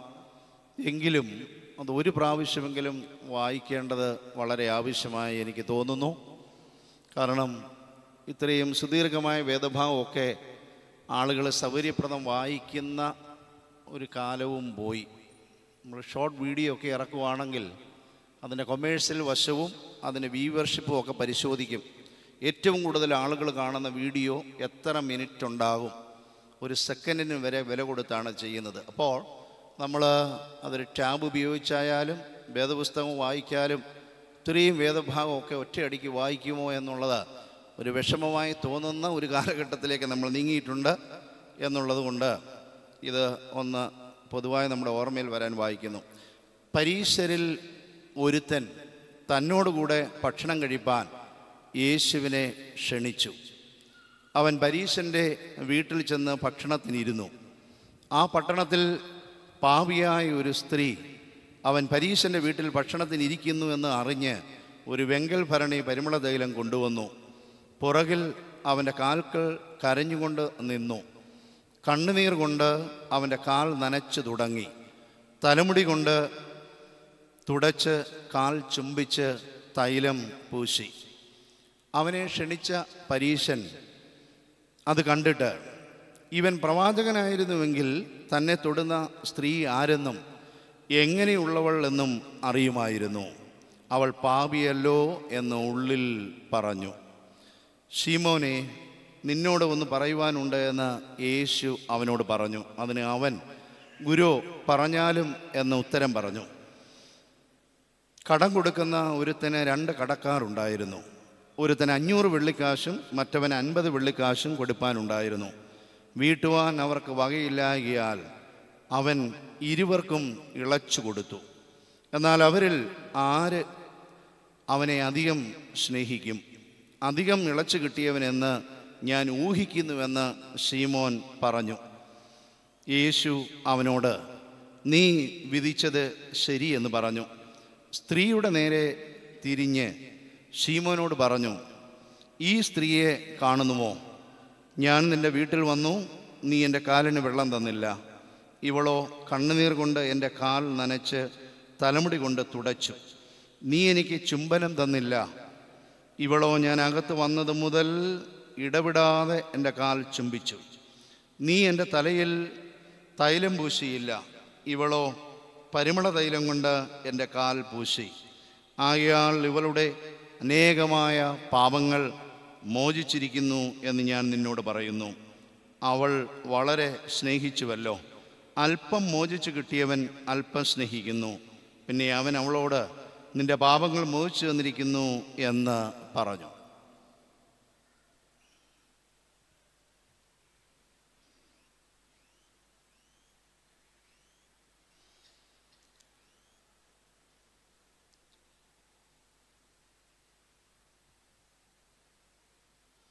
യേശുദമ്പുരാന്റെ അടുക്കൽ വന്ന് പാപമോചനം ലഭിച്ച ഈ സ്ത്രീയുടെ ഈ ചിത്രവും ആ അനുഭവവും പൗരസ്ത്രീയ ആധ്യാത്മികതയിൽ പ്രത്യേകിച്ച് നമ്മുടെ സഭയുടെ ആരാധനയിൽ സുറിയാനി പിതാക്കന്മാരുടെ ചിന്തയിൽ വളരെ ശ്രദ്ധ ആകർഷിച്ചിട്ട് ഉള്ളതാണ്. ഈ സന്ധ്യയിലും സൂത്താറയ്ക്ക് നാം പാടിയ ആ ഗീതത്തിന്റെ രണ്ടാം ഭാഗം ഈ ഉപമയിൽ നിന്ന് ആവിർഭവിച്ചതാണ്. അത് മാത്രവുമല്ല മറ്റ് പല സന്ദർഭങ്ങളിലും ഇതിനെക്കുറിച്ച് പരാമർശിച്ചിട്ടുണ്ട്. നമ്മുടെയൊക്കെ പ്രസംഗങ്ങളിലും ധ്യാനങ്ങളിലും ഈ ചിത്രം വളരെ ദൃഢമായി നിൽക്കുന്ന ഒന്നാകുന്നു. യേശുദമ്പരാനെ ക്ഷണിച്ച വ്യക്തി യേശുദമ്പരാനിൽ നിന്ന് ഒരു അനുഗ്രഹം നേടുവാൻ തക്കവണ്ണം സാധിക്കാതെ വരുമ്പോൾ ക്ഷണിക്കപ്പെടാതെ അവിടെ വരുന്ന മറ്റൊരു വ്യക്തി അവന് ലഭിക്കേണ്ടിയിരുന്നുവെന്ന് കരുതുന്ന ആ അനുഗ്രഹം വാങ്ങി സന്തോഷത്തോടെ തിരിച്ച് പോവുകയാണ്. ഇന്നത്തെ ഒരു അവസ്ഥ നന്നായി നാം ഒന്ന് സംഗ്രഹിച്ച് വേണം ഈ വേദഭാഗത്തെ നമ്മളൊന്ന് മനസ്സിലാക്കാൻ തക്കവണ്ണം സാധിക്കുന്നത്. മനുഷ്യന്റെ ശാസ്ത്ര സാങ്കേതിക വിദ്യയിലുള്ള മികവ് കൊണ്ടും ജീവിത സാഹചര്യങ്ങളിൽ മനുഷ്യന് സാമ്പത്തികവും മനുഷ്യന്റെ ഉന്നതി വരുന്നതുകൊണ്ടും വേദപുസ്തകം മുതലായ എല്ലാ ആധ്യാത്മികതകളുടെയും ചരിതങ്ങൾ എഴുതിയിട്ടുള്ള മഹത് ഗ്രന്ഥങ്ങളെ പണ്ടൊക്കെ കണ്ടതുപോലെയുള്ള ഒരു തികഞ്ഞതായ ഒരു യാഥാർത്ഥ്യ ബോധത്തോടെ അല്ല കാണുന്നത്. എന്റെ മുമ്പിലിരിക്കുന്ന ചെറുപ്പക്കാരായ ചിന്താശേഷിയുള്ളവരായ ഇനിയും ചിന്തിച്ചിട്ടില്ലെങ്കിൽ നമ്മുടെ ബുദ്ധിയൊക്കെ ഒന്ന് ഓർമ്മിപ്പിച്ച് ചിന്തിക്കാൻ തുടങ്ങുമ്പോൾ ഇതിൽ പലതും ഇങ്ങനെയൊക്കെ സ്വീകരിക്കണോ എന്നുള്ള ഒരു ചിന്ത ശക്തമായി വരും. അതുമാത്രവുമല്ല ഈ ആത്മീയമായ ജീവിതത്തിന് വലിയ പ്രസക്തി ഉണ്ടോ എന്നുള്ള ചോദ്യം ആരും നമ്മളോട് ചോദിച്ചില്ലെങ്കിലും മനുഷ്യരിത് പലതും ഇത് അവഗണിച്ച് സ്വയമായി അവരെ നിയന്ത്രിക്കാൻ കഴിയുന്ന ഒരു നിയമത്തിൽ കൂടെ മനുഷ്യൻ ജീവിച്ച് പോകുക നമ്മുടെ നാട്ടിൽ ഒരുപക്ഷേ സാമൂഹ്യമായ ഒരു പ്രതിബദ്ധതയുള്ളതുകൊണ്ട് സാമൂഹ്യമായ ഒരു അപ്പർ ഹാൻഡ് വ്യക്തികളിൽ ശക്തമായി ഉള്ളതുകൊണ്ടും അത്രയും ഒരു സ്വാതന്ത്ര്യത്തിന്റെ ഉപയോഗമോ ദുരുപയോഗമോ ഇല്ലെങ്കിലും അനതിരി വിദൂര ഭാവിയിൽ നമ്മുടെ അടുത്ത് തന്നെ ഇങ്ങനെയുള്ള കാര്യങ്ങൾ ഉണ്ടാകാൻ സാധ്യതയുണ്ട്. അതിന്റെ ലക്ഷണങ്ങൾ പലതും നമ്മുടെ സമൂഹത്തിലുണ്ട്. പണ്ടൊക്കെ നാം വിചാരിച്ചിരിക്കുന്നു ഈ യുക്തിവാദികൾ യുക്തിബോധം നിരീശ്വര എന്ന് വിചാരിക്കുന്ന ആളുകളൊക്കെ പിന്നീട് അങ്ങ് ദൈവവിശ്വാസത്തിൽ വന്നതുകൊണ്ട് മിക്കവാറും എല്ലാവരും ദൈവവിശ്വാസികളാണെന്നാണ് അങ്ങനല്ല. കേരളത്തിൽ ശക്തമായി ഇത് രണ്ടും തിരിച്ചു വന്നിട്ടുണ്ട്. നമ്മുടെ പള്ളിയിലെ പെരുന്നാളിന് വരുന്നതിനേക്കാൾ അധികം ആളുകൾ അതിന്റെ സമ്മേളനങ്ങളിൽ കേരളത്തിൽ കൂടുന്നുണ്ട് എന്നുള്ളത് എന്തിനെയാണ് സൂചിപ്പിക്കുന്നത് എന്നുള്ളതാണ് നമ്മൾ ചിന്തിക്കേണ്ടത്. പ്രിയമുള്ളവരെ രണ്ട് കാര്യങ്ങൾ മാത്രമേ ഈ വേദഭാവത്തു നിന്ന് പറയുവാൻ തക്കവണ്ണം ഞാൻ ആഗ്രഹിക്കുന്നുള്ളൂ. ഒന്നാമത് രണ്ട് കഥാപാത്രങ്ങളാണ് ഇവിടെ മുഖ്യമായി വരുന്നത്. ഈ ഒരു നാരേറ്റീവിൽ വിവരണത്തിൽ ധാരാളം ആളുകൾ ഉണ്ട് എന്നുള്ളതിന് സംശയമില്ല. എങ്കിലും മൂന്ന് കഥാപാത്രങ്ങൾ അവിടെ വളരെ സ്പഷ്ടമായി നമുക്ക് കാണാം. യേശുവുണ്ട് യേശുവിനെ ക്ഷണിച്ച ആ പരീശൻ എന്ന് ആരംഭത്തിൽ പറയുന്നുവെങ്കിലും യേശു പേര് വിളിക്കുമ്പോൾ അത് ശീമോനാകുന്നുവെന്ന് നമുക്ക് മനസ്സിലാവും. അപ്പോൾ ശീമോൻ എന്ന പരീശൻ പരീശനുണ്ട്. അവിടെ ക്ഷണിക്കപ്പെടാതെ തന്നെ കടന്നു വന്ന ആ സ്ത്രീയുണ്ട്. ഈ വിവരണത്തിൽ ഒരിടത്തും ആ സ്ത്രീയുടെ ഐഡന്റിറ്റി മറ്റു തരത്തിൽ പറയുന്നില്ല. ഒറ്റ ഐഡന്റിറ്റിയെ അവളെ വിശേഷിപ്പിച്ചുകൊണ്ട് പറയുന്നുള്ളൂ. അത് തുടക്കത്തിൽ പറയുന്നതാണ് ആ പട്ടണത്തിലെ പാവിയായ ഒരു സ്ത്രീ എന്നുള്ള ഒരു ലേബൽ മാത്രമേ ഉള്ളൂ. അപ്പോൾ ഒന്നല്ല മൂന്ന് കഥാപാത്രങ്ങൾ ഈ വിവരണത്തിൽ വളരെ ശക്തമായി നമ്മുടെ മുമ്പിൽ ഉണ്ടെങ്കിലും രണ്ട് കഥാപാത്രത്തെ മാത്രമാണ് നമുക്ക് കൂടുതലായി ശ്രദ്ധിക്കുവാനുള്ളത്. അത് മറ്റാരുമല്ല യേശു തമ്പുരാനും ഈ പാപം മോചിക്കപ്പെട്ടതായ ഈ സ്ത്രീയുമാകുന്നു എന്നുള്ളതാണ് മൊത്തത്തിലുള്ള കഥാപാത്രങ്ങളിൽ നിന്ന് നമ്മളെ ഏത് തരത്തിലുള്ള ആവിഷ്കാരങ്ങളായാലും നോവലായാലും കഥയായാലും ഒരു സീരിയലായാലും അല്ലെങ്കിൽ മറ്റ് ദൃശ്യ മാധ്യമങ്ങൾ കൂടെയുള്ള ഏത് ആവിഷ്കാരമായാലും ഒത്തിരി കഥാപാത്രങ്ങളൊക്കെ ഉണ്ടെങ്കിലും അതിൽ പ്രധാനപ്പെട്ട കഥാപാത്രങ്ങൾ. പ്രോട്ടഗണിസ്റ്റ് എന്ന് നമ്മൾ പറയും. അത് പ്രോട്ടോ എന്ന് പറഞ്ഞാൽ ഒന്നെന്നാണ്. ഫസ്റ്റ് അല്ലെ നമ്പർ വൺ എന്നുള്ളതാണ് അപ്പം ഇവിടെ പ്രോട്ടോഗണിസ്റ്റ് എന്ന് നമുക്ക് പറയാൻ സാധിക്കുകയില്ല. രണ്ട് പേര് ശക്തമായി നമ്മുടെ മുമ്പിൽ വരുന്നുണ്ട്. യേശുവും ഈ സ്ത്രീയുമാണ്. ഈ സ്ത്രീയുടെ ജീവിതത്തിൽ നിന്ന് തുടങ്ങി യേശുവിലൂടെ പിന്നെ ഷീമോനിലൂടെ ആ ഒരു ചിത്രം അവസാനിക്കുന്നതാണ് അതിന്റെ വിവരണത്തിലുള്ളത്. യേശുവിനെ ആദ്യമേ അവിടേക്ക് ക്ഷണിച്ചു. The stage is set for Jesus to act അങ്ങനെ അവിടെ ഒന്ന് തയ്യാറായിട്ടുണ്ടെന്നുള്ളതാണ് ആദ്യ ഭാഗത്ത് പറയുന്നത്. അപ്പോൾ യേശു പരീശന്റെ വീട്ടിൽ ഒരു വലിയ വിരുന്നിൽ പങ്കെടുക്കുന്നുവെന്ന് കേട്ടറിഞ്ഞ് ആ സ്ത്രീ അവിടെ വരികയും പിന്നീട് ആരും നിർവചിച്ചിട്ടില്ലാത്ത ആരും വിഭാവനം ചെയ്തിട്ടില്ലാത്ത ഒരുപക്ഷെ അവൾ പോലും ആഗ്രഹിക്കുന്നേക്കാൾ അപ്പുറമായി കാര്യങ്ങൾ മാറി മറിഞ്ഞ് വളരെ ശുഭപര്യാവസാനിയായി തീരുമ്പോഴാണ് ഇതിന്റെ പ്രാധാന്യം നമ്മൾ മനസ്സിലാകുന്നത്. അപ്പോൾ ഈ സ്ത്രീയിൽ നിന്ന് നമ്മളൊന്ന് തുടങ്ങിയാൽ സ്ത്രീയിൽ നിന്നാണല്ലോ ജീവിതത്തിന്റെ തുടക്കം സ്ത്രീയിൽ നിന്നാണ് മറ്റു തരത്തിലുള്ള പല കാര്യങ്ങളുടെയും പ്രചോദനം ഉണ്ടാകുന്നത്. അവരെ സമൂഹത്തിന്റെ ഒരു മുഖ്യധാരയിലേക്ക് കൊണ്ടുവരേണ്ട ആവശ്യമല്ല. എല്ലാ മുഖ്യധാരകളിലും ഒളിഞ്ഞും തെളിഞ്ഞും സ്ത്രീകളുടെ സ്വാധീനവും സ്ത്രീകളുടെ ആ ഒരു സംഭാവനയും ഉണ്ട് എന്നുള്ളതിന് സംശയമില്ലാത്ത കാര്യമാണ് ഇവിടെയും നമുക്ക് അങ്ങനെ തന്നെ ഒന്ന് തുടങ്ങാൻ തക്കവണ്ണം സാധിക്കും. ഈ സ്ത്രീയെക്കുറിച്ച് ചിന്തിക്കുമ്പോൾ അവൾ യേശുവിൽ നല്ല ഒരു തുടക്കം കുറിച്ച ഒരു സ്ത്രീയാണ് യേശുവിൽ നല്ല ഒരു തുടക്കം കുറിച്ചു. ഈ പ്രഭാഷണത്തിന്റെ തുടക്കത്തിൽ ഞാനൊരു ഒരു മനുഷ്യൻ ചോദിച്ച ഒരു ചോദ്യമുണ്ട്. ഞാൻ ആ എന്റെ ലക്ഷ്യസ്ഥാനത്തേക്ക് പോകണമെങ്കിൽ ഇവിടെ നിന്ന് ആരംഭിച്ചാൽ മതിയോ? അദ്ദേഹം സഹായിക്കുമെന്ന് പ്രതീക്ഷിച്ച മനുഷ്യൻ അദ്ദേഹത്തോട് പറഞ്ഞു ഞാൻ ആ സ്ഥലത്തേക്ക് പോകണമെന്ന് വെച്ചാൽ ഞാൻ ഇവിടെ നിന്ന് അത് ആരംഭിക്കുകയില്ല. അപ്പോൾ ഏറ്റവും പ്രധാനമായ ഒരു ചോദ്യം നമ്മൾ എവിടെ നിന്ന് ആരംഭിക്കും? എവിടെ നിന്ന് ആരംഭിക്കും? വീട്ടിൽ നിന്ന് ആരംഭിക്കാൻ പറ്റുന്ന എന്തെങ്കിലും ഇപ്പം വീടുകളിലുണ്ടോ? എവിടെ നിന്ന് ആരംഭിക്കും?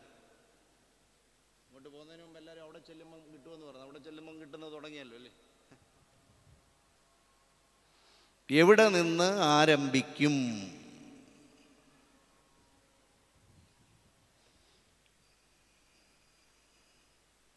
വീട്ടിൽ നിന്ന് ആരംഭിക്കേണ്ട പലതും വീടുകളിൽ ഇപ്പോൾ അങ്ങനെ പറയാറോ സൂചന നൽകുകയോ നമ്മുടെ മുഖം ഒന്ന് വാടത്തക്ക രീതിയിൽ എന്തെങ്കിലും ഉപദേശമോ വല്ലതും വീട്ടിലുണ്ടോ? ഇല്ല. അപ്പം അവിടെ നിന്ന് അധികം ഒന്നും പ്രതീക്ഷിക്കണ്ട. പിന്നെ അടുത്ത സ്ഥലം നമ്മുടെ എവിടെ? വിദ്യാഭ്യാസ മേഖലയാണ് അവിടെ നിന്ന് എന്ത് പ്രതീക്ഷിക്കാനാ? നമ്മൾ പ്രതീക്ഷിച്ച നഷ്ടപ്പെട്ടിരിക്കുമ്പോഴാണ് റിസൾട്ട് വരുന്നത്. അപ്പം മുഴുവൻ സ്കൂളിന് മുഴുവൻ എ പ്ലസ് പ്ലസ്സാണ് അപ്പം നമ്മൾ ജയിച്ചു എന്ന് മാത്രമല്ല ഫുൾ എ പ്ലസും കിട്ടി. നമ്മുടെ ഓരോരുത്തരുടെയും ജീവിതത്തിന്റെ ഓരോ സ്ഥലത്ത് നമ്മൾ എത്തുമ്പോൾ കാര്യമായി അകത്തൊന്നുമില്ലെങ്കിൽ അവിടെ നിന്നൊന്നും ദൈവസന്നിധിയിൽ സ്ഥിരീകരിക്കപ്പെടുന്ന ഒരു ജീവിതത്തിന്റെ തുടക്കമാകാൻ കഴിയുകയില്ല. യേശു അനേക സന്ദർഭങ്ങളിൽ അതുവഴി യാത്ര ചെയ്തു പോയിട്ടുള്ളതാണ് ഈ ഷീമോന്റെ വീടും അവിടെയുണ്ട്. ഷീമോനെ അത്യാവശ്യം എല്ലാവർക്കും അറിയാവുന്നതാണ് ഈ സ്ത്രീയും അവളുടെ പാപമംഗലമായ ജീവിതം അതിലെയൊക്കെ ഇങ്ങനെ നടന്ന് യാത്ര ചെയ്ത് അവളെയും വളരെ അറിയപ്പെടുന്ന ഒരാളാണ് പക്ഷേ അതൊക്കെ പഴയതായി മാറി അവിടെ ജീവിതത്തിന്റെ ഒരു നല്ല തുടക്കം അവിടെ ആരംഭിക്കാൻ തക്കവണ്ണം സാധിച്ചു. അതെങ്ങനെ സാധിച്ചു എന്ന് നമുക്കൊന്ന് നോക്കാം.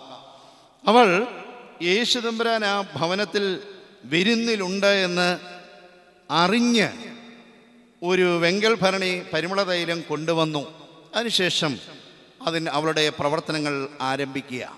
പ്രിയമുള്ളവരെ ഒന്നാമത് നാം ചെയ്യേണ്ടത് ക്ഷണിക്കപ്പെടാത്ത ഒരതിഥിയായി നമ്മൾ വരണം പലയിടത്തും.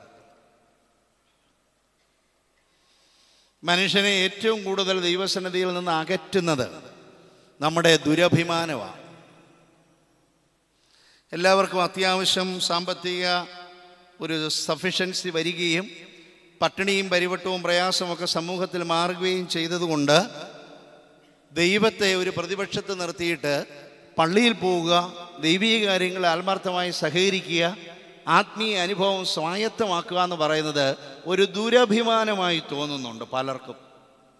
നമ്മളോട് മുഖത്ത് നോക്കി പറയത്തില്ലെങ്കിലും ആധുനിക മനുഷ്യന്റെ ഏറ്റവും വലിയ ഒരു ഒരു ഒരു ഒരു സംഘർഷ അവസ്ഥയായി എനിക്ക് തോന്നുന്നത് ഇതാണ്. നല്ല ശാസ്ത്രീയമായ കണ്ടുപിടുത്തങ്ങൾ നടത്തുന്ന ശാസ്ത്രജ്ഞന്മാരൊക്കെ ദൈവത്തെ ഉള്ളിൽ അറിഞ്ഞ് മാത്രമേ അവർ ചെയ്യുകയുള്ളൂ. അത് ചന്ദ്രനിലോട്ടൊരു ഉപഗ്രഹം വിട്ടാലും അതുപോലെയുള്ള വലിയ അഡ്വഞ്ചറസ് എക്സ്പെഡീഷൻ നടത്തിയാലും അവർ ദൈവത്തെ അല്ലെങ്കിൽ ഒരു ശക്തിയെ ഒന്ന് ബഹുമാനിച്ചിട്ട് മാത്രമേ ചെയ്യുകയുള്ളൂ. എന്നാൽ നമ്മുടെ സമൂഹത്തിന്റെ ഇടയ്ക്ക് നിൽക്കുന്നവരുണ്ട്. അത്രയും വലിയ സയന്റിഫിക്കായ റിസർച്ച് നടത്തുകയോ അതിന്റെ വെളിച്ചം കൊണ്ട് ഈ സമൂഹത്തെ നന്നാക്കുകയൊന്നും ചെയ്യുന്നവരല്ല. വായിച്ചും അറിഞ്ഞും ഇങ്ങനെ ലോകം ഉയർന്നു എന്ന് മനസ്സിലാക്കിയിട്ട് അവർ സ്വയമായി ഒരു കാര്യം ഏറ്റെടുക്കും. ഈ പള്ളിയിലൊന്നും പോകേണ്ട ആവശ്യമില്ല. ആത്മീയ കാര്യത്തിൽ കാര്യമില്ല.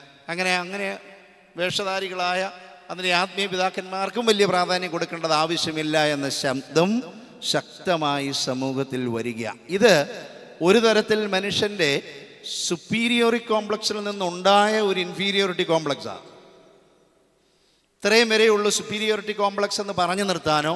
ഇതാണ് ഇൻഫീരിയോറിറ്റി കോംപ്ലക്സ് എന്ന് പറഞ്ഞു നിർത്താനോ കഴിയാത്ത രീതിയിൽ ഇതിന്റെ രണ്ടിന്റെ എഡ്ജ് തമ്മിൽ സംഗമിച്ചു പോകും.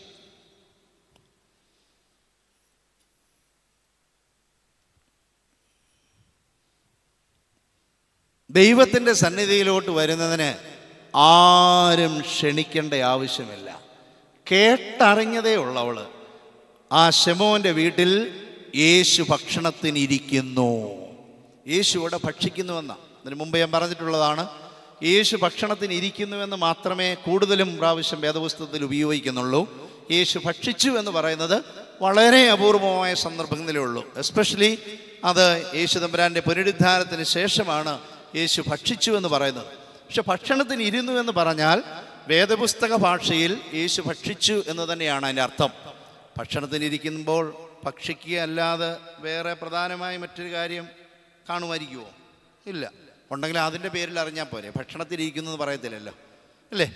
ആ ഇപ്പോൾ ഈ ഇരിക്കുന്നവർ അത് ഉത്തരം പറയാൻ വിഷമിക്കുന്നതിന്റെ കാര്യം ഫേസ്ബുക്കിലാണോ വാട്സപ്പിലാണോ ഇന്ത്യയും ഇംഗ്ലണ്ടും തമ്മിലുള്ള കളിയുടെ ലൈവിലാണോ ഇരിക്കുന്നതെന്നുള്ള സംശയം ഭക്ഷണം ഇങ്ങനെ പോകുന്നുണ്ടെങ്കിലുമേ അത് നിശ്ചയമായി അറിയാൻ വയ്യാത്തത് കൊണ്ട് എന്തിലാണ് എന്നുള്ളതൊരു ഇതുണ്ട്. പക്ഷെ വേദപുസ്തകത്തിൽ രണ്ടായിരം വർഷത്തിന് മുമ്പ് എഴുതിയ പൗരസ്ത്യമായ ഒരു ആധ്യാത്മികതയിൽ നമ്മൾ മനസ്സിലാക്കുമ്പോൾ യേശു ഭക്ഷണത്തിനിരുന്നു എന്ന് പറഞ്ഞാൽ യേശു ഭക്ഷിച്ചുകൊണ്ടിരിക്കുന്നു എന്നാണ് അതിന്റെ അർത്ഥം. അങ്ങനെ യേശുവിനെ ക്ഷണിച്ചു.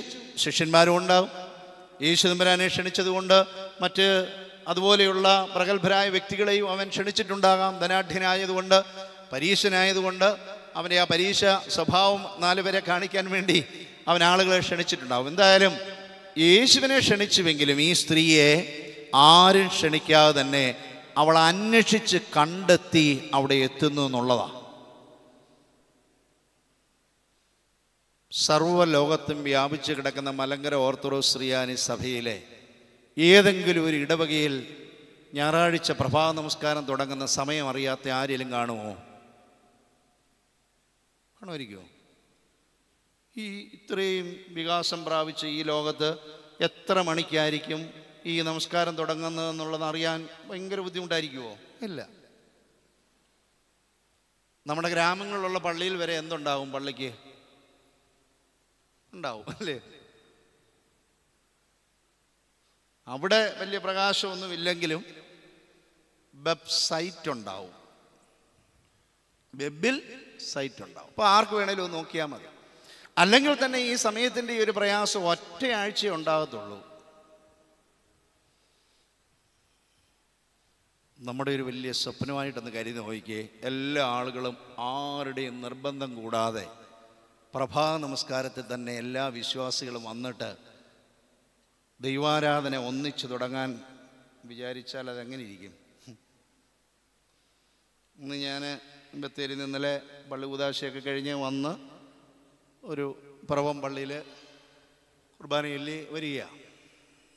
അപ്പം ഇവിടെ സേവനം ചെയ്യുന്ന അച്ഛൻ ഇന്നോടുകൂടി അത് അവസാനിപ്പിച്ച് വിദേശത്തിലേക്ക് പോകുകയാണ് അപ്പം അച്ഛൻ ആ സന്തോഷം പങ്കിട്ടു കഴിഞ്ഞാൽ ഇത്ര വർഷമായി അവിടെ പ്രവർത്തിക്കുന്നുവെങ്കിൽ ഒരു കാര്യം മാത്രം ഇതിന് യാത്ര പുറപ്പെടുന്നതിന് മുമ്പുള്ള സന്തോഷത്തോടു കൂടി ഒരു ഉപദേശമായി പറയുന്നത് നിങ്ങൾ പള്ളിയിൽ അല്പം കൂടെ കാര്യമായി നമസ്കാരത്തിന് മറ്റു കാര്യങ്ങളിൽ പങ്കാളിത്തത്തോടുകൂടി വരണം. ഇന്ന് അവിടെ പെരുന്നാളായതുകൊണ്ട് കൈമുത്താൻ തന്നെ ഒരു മണിക്കൂർ എടുത്ത് അതുപോലെ ആളുണ്ടായിരുന്നു. പെരുന്നാളായതുകൊണ്ടാണ് അച്ഛന്റെ സെൻഡ് ഓഫ് ആയതുകൊണ്ട്. അച്ഛന്റെ ലാസ്റ്റ് ഞായറാഴ്ച ആയതുകൊണ്ട് ഇങ്ങനെ വന്നതാണോ? അറിയത്തില്ല. പ്രിയമുള്ളവരെ ആരും ക്ഷണിക്കാതെ ഈ സ്ത്രീ പോയി. എന്നെ കേൾക്കുന്ന സർവരോടും എനിക്ക് പറയാനുള്ളത് ആധ്യാത്മികമായ നമ്മുടെ തുടക്കം ആരും ക്ഷണിക്കാതെ തന്നെ നമ്മളിൽ തന്നെ അത് ആരംഭിക്കണം.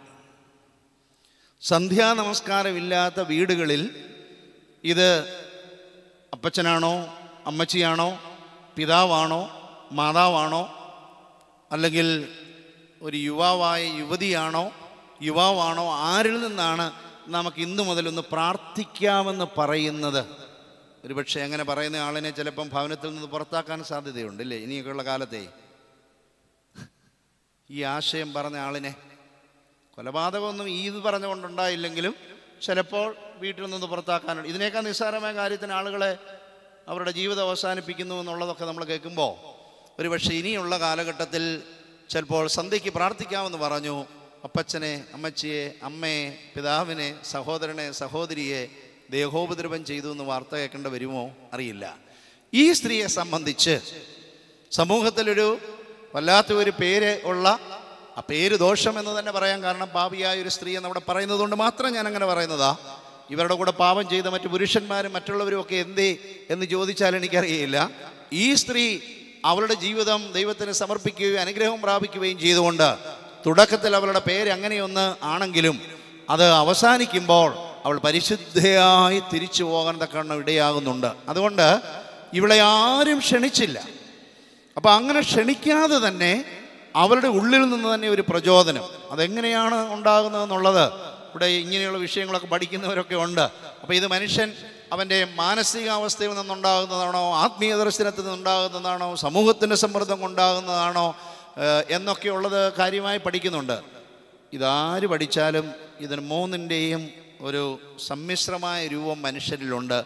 വാട്ടർ ടൈറ്റ് കമ്പാർട്ട്മെന്റലൈസേഷൻ നടത്തി ഇതിന്റെ പ്രചോദനമോ ഇന്നത് വരെയാണെന്ന് പറയാൻ സാധിക്കുമോ എന്ന് എനിക്ക് തോന്നുന്നില്ല. എന്റെ വളരെ പെരിഫറലായ ഒരു പാണ്ഡിത്യത്തിന്റെ അടിസ്ഥാനത്തിൽ എനിക്ക് തോന്നുന്നത്. അപ്പോൾ ഈ സ്ത്രീ ആരും ക്ഷണിക്കാതെ യേശു ഉണ്ടെന്നറിഞ്ഞ് ആ സ്ഥലത്തേക്ക് പോവുകയാണ് പ്രിയമുള്ളവരെ. യേശുവിന്റെ അടുക്കൽ വന്നല്ലാതെ ഒരു മനുഷ്യനും നിങ്ങളുടെ സമൂഹത്തിലേത് മുഖ്യധാരയിലോ സമൂഹത്തിൽ നിന്ന് ഈ സ്ത്രീയെ പരാമർശിക്കുന്നത് പോലെ തിഷ്കരതാകുന്നുവോ ആത്മീയമായ ഒരു ജീവിതം നിങ്ങൾക്ക് വേണമെന്നുള്ള ആഗ്രഹം നിങ്ങളിൽ ഉണ്ടാകുകയും ആരും ക്ഷണിക്കാതെ ഒരു സമ്മർദ്ദവും ചെലുത്താതെ ക്രിസ്തുവിന്റെ അടുക്കിലേക്ക് വരികയും ചെയ്യാൻ തക്കവണ്ണം സാധിക്കണം. യേശുവിൽ മാത്രമാണ് അവിടെ ഫോക്കസ്. യേശുവിലല്ലാത്ത ഫോക്കസ് ഉണ്ടെങ്കിൽ എങ്ങനെ ഇരിക്കും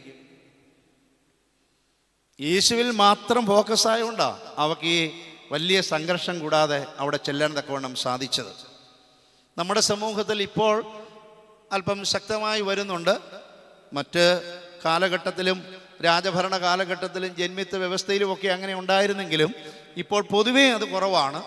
എങ്കിലും സാമൂഹ്യ പരിവർത്തനം മൂലം ശക്തമായി വരുന്നത് നമ്മുടെ മറ്റ് പാശ്ചാത്യ നാടുകളിലെ പോലെയാണ് അവിടെ ഒരു മനുഷ്യൻ ഒരു വ്യക്തിയെ കാണണമെങ്കിലോ ഒരു സ്ഥാപനത്തിൽ നമ്മൾ ചെല്ലണമെങ്കിലോ നിശ്ചയമായും മുൻകൂട്ടി അപ്പോയിൻമെന്റ് എടുക്കാതെ സാധിക്കുകയില്ല. അതാരായിരുന്നാലും അങ്ങനെ തന്നെയാണ് ആഗോള കത്തോലിക്ക സഭയുടെ സുന്നത ദിവസിൽ മലങ്കര ഓർത്തഡോക്സ് റിയാനെ സഭയെ പ്രതികരിച്ച് ഒരു മാസം പങ്കെടുത്ത് രണ്ട് ദിവസത്തേക്ക് മുമ്പാണ് ഞാൻ തിരിച്ചെത്തിയത്. നമ്മളവിടെ ചെന്ന് കഴിയുമ്പോൾ തന്നെ നമുക്കൊരു ബാഡ്ജുണ്ട്. ആ ബാഡ്ജ് കൂടാതെ നമുക്ക് ആ സ്ഥലത്തേക്ക് ഈ മീറ്റിംഗ് നടക്കുന്ന സുന്നോദസ് നടക്കുന്ന വലിയ ഹാളിലേക്ക് മാത്രമല്ല വത്തിക്കാൻ സിറ്റി എന്ന ആ സിറ്റിയിലേക്ക് പ്രവേശിക്കാൻ സാധിക്കുകയില്ല. നമ്മൾ താമസിക്കുന്ന ഭവനത്തിൽ നിന്ന് പിതാക്കന്മാരെ ഒന്നിച്ച് ഒരു ബസ്സിൽ കൊണ്ടുപോകുന്നത് കൊണ്ട് ആ വാതുക്കലാകുമ്പോൾ ബസ് അവിടെ നിന്ന് തന്നെ അറേഞ്ച് ചെയ്താ. എന്നാലും അവർ സല്യൂട്ട് ചെയ്ത് റെക്കഗ്നൈസ് ചെയ്ത് മാത്രമേ ഉള്ളൂ. നമ്മുടെ കൂടെ ഒരു വണ്ടി അല്ലാതെ വന്നാൽ അവിടെ സ്റ്റോപ്പ് ചെയ്യുകയും അവരെ തിരിച്ചു വിടുകയും ചെയ്യും. അതൊക്കെ വളരെ ടൈറ്റായിട്ടുള്ള സെക്യൂരിറ്റി പ്രോട്ടോകോൾസ് ഒക്കെയാണ് മാത്രവുമല്ല നമ്മൾ അതിൽ പ്രവേശിച്ചാൽ ബാർകോഡ് വഴി നമ്മൾ അതിനെ രജിസ്റ്റർ ചെയ്യാതെ സഭയുടെ പരമാധ്യക്ഷനായ പരിശുദ്ധ പോപ്പിന് പോലും ആ മീറ്റിങ്ങിന്റെ ഉള്ളിലേക്ക് പ്രവേശിക്കാൻ സാധിക്കില്ല ടേബിളിൽ ഉണ്ടാവുമെന്നുള്ളേ ഉള്ളൂ. മീറ്റിങ്ങിന്റെ പ്ലീനറി സെഷനിലേക്ക് പ്രവേശിക്കണമെങ്കിൽ നമ്മൾ അതിൽ കയറി രജിസ്റ്റർ ചെയ്തെങ്കിൽ മാത്രമേ നമുക്കൊരു കാര്യം പറയാനൊരു മൈക്ക് ലഭിക്കുകയുള്ളൂ. നമ്മുടെ അഭിപ്രായം അവിടെ രേഖപ്പെടുത്താൻ തക്കവണ്ണം സാധിക്കുകയുള്ളൂ. ഞാൻ പറഞ്ഞത് പ്രിയമുള്ളവരെ ഇങ്ങനെ ഷീമോന്റെ ഭവനത്തിലേക്ക് ചെല്ലുമ്പോൾ ആ ഗേറ്റ് കീപ്പർ എന്നെ അവിടെ തടഞ്ഞാൽ ഞാൻ എന്തു ചെയ്യും? അവിടെ യേശു മാത്രമല്ല അവന്റെ ശിഷ്യന്മാരും മറ്റുള്ളവരും ഉണ്ടാകും അവരെന്നെ കുറിച്ച് എന്ത് ധരിക്കും? മനുഷ്യനെ ഏറ്റവും കൂടുതൽ സംഘർഷത്തിൽ ഇങ്ങനെ നിലനിർത്തുകയും ചിലപ്പോൾ അനേകരുടെ ജീവിതം അവസാനിപ്പിക്കാൻ അവർക്ക് നിമിത്തമാകുന്നതും ഒരുപക്ഷേ മനുഷ്യന്റെ മുൻവിധിയാ. എന്താ മുൻവിധി പക്ഷേ ഇതിനെ ഒഴിവാക്കാനായിട്ട് ഒരു മാർഗവും മനുഷ്യർ കണ്ടുപിടിച്ചിട്ടില്ല. മുൻവിധി എന്നതിനെ അതിനെ ഒഴിവാക്കാൻ ഒരു മനുഷ്യന് സാധിക്കുകയില്ല. ഇതൊരു വലിയ ഒരു പ്രഹേളികയാണ്. ജീവിതത്തിൽ കടന്നു കയറാൻ ഒരു അനാവശ്യമായ ഒന്നാണെങ്കിലും ഏത് കാര്യത്തിലും നമ്മുടെ ജീവിതത്തിലെ മിക്ക അവസരങ്ങളിലും ഈ പ്രിടെക്സ്റ്റ് എന്നുള്ളതാണ്. ഇംഗ്ലീഷ് ഭാഷയിലേക്ക് വരുമ്പോഴത് പ്രീ ടെക്സ്റ്റാണ് പ്രിടെക്സ്റ്റ് ടെക്സ്റ്റിൽ അതില്ല. പക്ഷെ ടെക്സ്റ്റിലേക്ക് വരുന്നതിന് മുമ്പ് പ്രീ ആയിട്ടുള്ള അതിന് പ്രഥമമായി അല്ലെങ്കിൽ അതിന് മുമ്പ് തന്നെ നമ്മൾ ഒന്ന് നനച്ചു വെക്കുന്നതാണ് പ്രിടെക്സ്റ്റ് പക്ഷേ ദൈവത്തിൽ യേശുവിൽ മാത്രം ഫോക്കസ് ആയതുകൊണ്ട് അവൾ ആ സമൂഹത്തിൽ നിശ്ചയിച്ചിരുന്നതായ എല്ലാ വാതിലുകളെയും എല്ലാ ശ്രേണികളെയും എല്ലാ തടസ്സങ്ങളെയും തച്ചുടച്ചുകൊണ്ട് ആത്മധൈര്യം പൂണ്ട് യേശുവിൽ ഫോക്കസ് വെച്ചുകൊണ്ട് അവൾ അതിനെയൊക്കെ അവഗണിച്ച് നടന്ന് നടന്നങ്ങനെ യേശുവിന്റെ അടുക്കലെത്തി ഷീമോന്റെ ശ്രദ്ധയിൽപ്പെടാതെ മറ്റു പരിചാരകരുടെ ശ്രദ്ധയിൽപ്പെടാതെ എങ്ങനെ യേശുവിന്റെ അടുക്കൽ വരുവാൻ ഇവക്ക് സാധിച്ചു? കാരണം ഇവൾ അത്യാവശ്യമായി എല്ലാവരും തിരിച്ചറിയുന്ന ഒരു സ്ത്രീയാണ് എങ്കിലും അവൾ അവളുടെ ആ ഒരു ആത്മധൈര്യത്തിൽ യേശുവിലുള്ള ആശ്രയത്തിൽ പരിപൂർണമായി യേശുവിൽ ആശ്രയിച്ചതുകൊണ്ട് തടസ്സങ്ങളൊക്കെയും അവൾക്ക് നിർബാധം തുടർന്ന് അവൾ യേശുവിന്റെ അടുക്കൽ തക്കവണ്ണം സാധിച്ചു. പ്രിയമുള്ളവരെ ഇങ്ങനെ യേശുവിന്റെ അടുക്കൽ വരുവാൻ ദൈവസന്നതയിൽ വരുവാൻ നമുക്ക് ധാരാളം തടസ്സങ്ങളും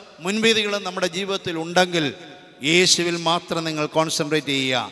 പരിശുദ്ധമായ ദൈവത്തിൽ നിങ്ങൾ ആശ്രയം വെച്ചാൽ നിങ്ങളുടെ മുമ്പിലുള്ള എല്ലാ തടസ്സങ്ങളും ഒന്നിനു പുറകെ ഒന്നായി മഞ്ഞ് വെയിലത്ത് ഉരുകി മാറുന്നത് പോലെ ഉരുകി നിങ്ങൾക്ക് ദൈവസന്നിധിയിൽ വരുവാൻ തക്കവണ്ണം സാധിക്കും. അപ്പോൾ ക്ഷണിക്കപ്പെടാതെ പോകുന്നതിന്റെ ഒരു സംഘർഷം ക്ഷണിക്കപ്പെടാതെ പോകുന്നതിന്റെ ഒരു അപജയം അപമാനം മുൻവിധി എന്ന നമുക്ക് ഒഴിച്ചുകൂടാൻ കഴിയാത്ത ജീവിതത്തിന്റെ ഒരു യാഥാർത്ഥ്യം.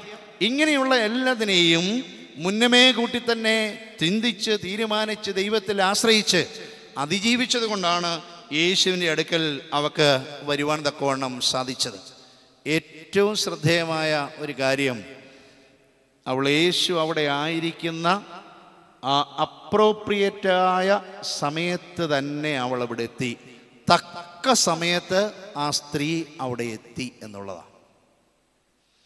എന്റെ ജീവിതത്തിൽ അനേക യാത്രകളിൽ എനിക്ക് തക്ക സമയത്ത് അല്പമായ ഒരു സഹായമേ ഉള്ളൂവെങ്കിലും അതൊരു വലിയ സഹായമായി എനിക്ക് തോന്നിയിട്ടുണ്ട്. ഞാൻ ആദ്യമായി റോമിൽ പഠിക്കാൻ രണ്ടായിരത്തി നാലിൽ പോകുന്ന സന്ദർഭത്തിൽ ഞാൻ സാധാരണ നാഗ്പൂർ സെമിനാരിയിൽ നിന്ന് നാട്ടിൽ വന്ന് തിരിച്ചു പോകുമ്പോൾ കേരള എക്സ്പ്രസ്സിൽ വെച്ച് അന്ന് റോമിൽ ഉള്ള ഒരു യുവാവിനെ പരിചയപ്പെട്ടു. ഒരു മെയിൽ നേഴ്സാണ് അദ്ദേഹം ഷിജോ എന്നാണ് അദ്ദേഹത്തിന്റെ പേര്. അദ്ദേഹം വളരെ ഡൽഹിയിൽ ജോലി ചെയ്തതിന് ശേഷം ഇറ്റലി പോയി അനേക വർഷം കഴിഞ്ഞ് തിരിച്ചു വന്നതുകൊണ്ട് ആ കേരള എക്സ്പ്രസ്സിലൊക്കെ യാത്ര ചെയ്യുമ്പോഴുള്ള മലയാളികളെ കണ്ടതിന്റെ സന്തോഷമൊക്കെ പങ്കിട്ട് വളരെ വാചാലനായി പോകുകയാണ്. ആദ്യമൊക്കെ എനിക്ക് അത്ര അങ്ങ് സൗഹൃദം തോന്നിയില്ലെങ്കിലും രണ്ടാമത്തെ ദിവസമായപ്പോൾ ഞാനൊക്കെ ഇദ്ദേഹത്തിന്റെ സംസാരമൊക്കെ ശ്രദ്ധിച്ച് അടുത്ത് കൂടി. ഞാൻ അദ്ദേഹത്തെ അന്ന് പരിചയപ്പെട്ടു.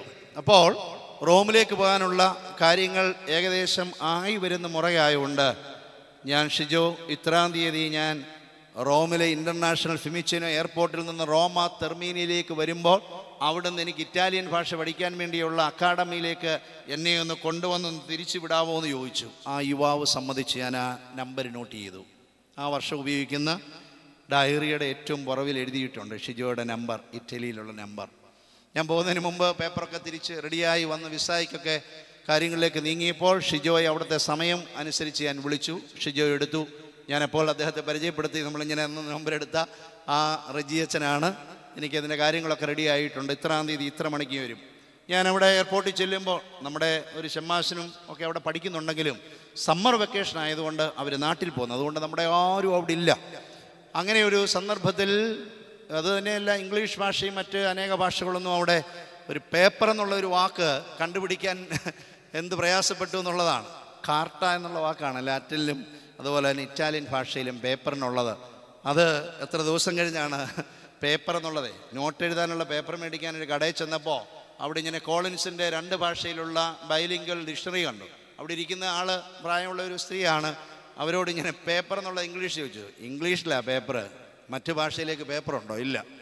എന്നാലും അനേക ഭാഷയിൽ പേപ്പർ എന്നത് തന്നെ നിലനിൽക്കുന്നുണ്ടെങ്കിലും പേപ്പറിന് ഇറ്റാലിയൻ ഭാഷയിൽ കാർട്ടാണ് അപ്പോൾ ഞാൻ അതിൽ നിന്നെടുത്ത് പേപ്പർ എന്നുള്ളത് നോക്കി. അതുപോലെ തന്നെ അതിന്റെ മറുഭാഗത്ത് ഇറ്റാലിയൻ ഭാഷയിൽ നോക്കിയപ്പോൾ കാർട്ട എന്ന് കണ്ടു. അപ്പം ഞാൻ പറഞ്ഞു ചോദിച്ചു കാർട്ട എന്ന് മാത്രമേ ഉള്ളൂ ഇവിടെ പേപ്പർ ഉണ്ടോ എന്നൊക്കെ ചോദിക്കുന്ന ഒരാഴ്ച കൂടെ ഭാഷ പഠിച്ചിട്ടേ ഉള്ളല്ലോ. അല്ലാതെ ആദ്യമേ അവിടെ ചെന്നിട്ട് ഇവിടെ പേപ്പർ കിട്ടുമോ എന്ന് ചോദിക്കത്തക്ക രീതിയിൽ അഭൗമികമായ ജ്ഞാനമില്ല. അപ്പോൾ അതുകൊണ്ട് പേപ്പർ എന്ന് മാത്രം പറഞ്ഞാൽ മതി. ചീ, എന്ന് പറഞ്ഞാൽ സി ഇവിടെ ഇഷ്ടം പോലുണ്ട്. അപ്പോൾ നോക്കിയപ്പോൾ നോട്ട് ബുക്കുകളും പേനയൊക്കെ ഇരിപ്പുണ്ട്. പോട്ടെ പ്രിയമുള്ളവരെ ഇങ്ങനെ അനേക സന്ദർഭങ്ങളിൽ യാദൃശ്യമെന്ന് തോന്നാം. പക്ഷേ നമുക്ക് ചില നിമിത്തങ്ങളുണ്ടായി അങ്ങനെ പോകും. അപ്പോൾ അത് ഞാൻ ഇതുപോലെ അനേക സന്ദർഭങ്ങളിൽ യാത്ര ചെയ്തു പോകുന്ന സന്ദർഭത്തിൽ കേരളത്തിനകത്തും പുറത്തുമൊക്കെയുള്ള യാത്രകളിലും ജീവിത അനുഭവങ്ങളിലും ചിലപ്പോൾ നമുക്കൊരു ഇൻഡ്യൂഷൻ തോന്നും ഒരു പ്രചോദനം നമുക്ക് തോന്നും. ഇതൊന്ന് ലിങ്ക് ചെയ്താൽ നമുക്ക് അത് പ്രയോജനപ്പെടാൻ തക്കവണ്ണം സാധിക്കും. നിശ്ചയമായും അത് നമുക്ക് ശുഭമായി അത് ഭവിക്കും. അങ്ങനെ ഈ സ്ത്രീ യേശു അവിടെ ഉണ്ടെന്ന് അറിഞ്ഞ് മറ്റൊരു തടസ്സവാദങ്ങളും പറയാതെ തക്ക സമയത്ത് അവൾ അവിടെ എത്തി എന്നുള്ളതാണ്. നമുക്ക് വാഹന സൗകര്യമുണ്ട്. സാമൂഹ്യ മാധ്യമങ്ങൾ കൂടെ നമ്മുടെ സംശയങ്ങൾ ദൂരീകരിക്കാം. വലിയ അകലം നമുക്ക് വളരെ അടുത്ത. വലിയ അകലമാണെന്ന് നമുക്ക് തോന്നും. ഇരുപത്താറാം തീയതി രാവിലെ ഒമ്പത് മണിക്ക് കൊച്ചി എയർപോർട്ടിലെത്തി. പോകുന്ന വഴിക്ക് ഒരു അരമനയിൽ കയറി റിഫ്രഷ് ചെയ്തു. ബത്തേരി അനുവനെ ചെയ്തു. ഇരുപത്തേഴാം തീയതി ഇരുപത്തെട്ടാം തീയതി പള്ളി കൂതാശ കഴിഞ്ഞ് ആ കൂതാശ കഴിഞ്ഞ് അവിടെ നിന്ന് ഇറങ്ങി ഇന്നലെ രാത്രി പന്ത്രണ്ട് മണിക്ക് പുറത്ത് വന്നിട്ട് വരുന്ന വരുവായത് എന്നേക്കാൾ ഏതാനും മണിക്കൂറിന് മുമ്പാണ് അമേരിക്കയിൽ നിന്ന് പരിശുദ്ധ ബാവാതിരി മനസ്സുകൊണ്ട് എയർപോർട്ടിലെത്തി. ഇവിടെ വന്ന് കൊടി ഉയർത്തി. വെളുപ്പിന് അഞ്ച് മണിക്ക് വന്ന് ബത്തേരിൽ ഈ കൂതാശ നടത്തി തിരിച്ച് വന്ന് കുറച്ച് കഴിയുമ്പോൾ തിരുമേനി ഇവിടെ വരുന്നുണ്ട്. ചെറുതിൽ അകലെ ബന്ധമാണ് ആദ്യമൊക്കെ വിചാരിക്കുന്ന ഫ്ലൈറ്റ് അല്ലല്ലോ ഇപ്പം. അന്ന് രണ്ട് മണിക്കൂർ ഓടിക്കൊണ്ടിരുന്ന ഫ്ലൈറ്റിന് ഒറ്റ മണിക്കൂർ ആയിരം കിലോമീറ്റർ സ്പീഡിലല്ലേ തൊള്ളായിരത്തി അൻപത് കിലോമീറ്റർ സ്പീഡിലൊക്കെ പോകാൻ കഴിയുന്ന ഒരു കാലഘട്ടത്തിലേക്ക് നമ്മു. എന്നാലും ആ വണ്ടി ഒന്നെടുത്ത് ആ സ്കൂട്ടി ഒന്നെടുത്ത് ആ ആക്റ്റീവ് ഒന്നെടുത്ത് പള്ളിയിലോട്ടൊന്ന് പോകാം. അയ്യോ അത് മാത്രം. പള്ളി നമ്മൾ നിന്ന് ഒത്തിരി അകലയായിട്ടാണ്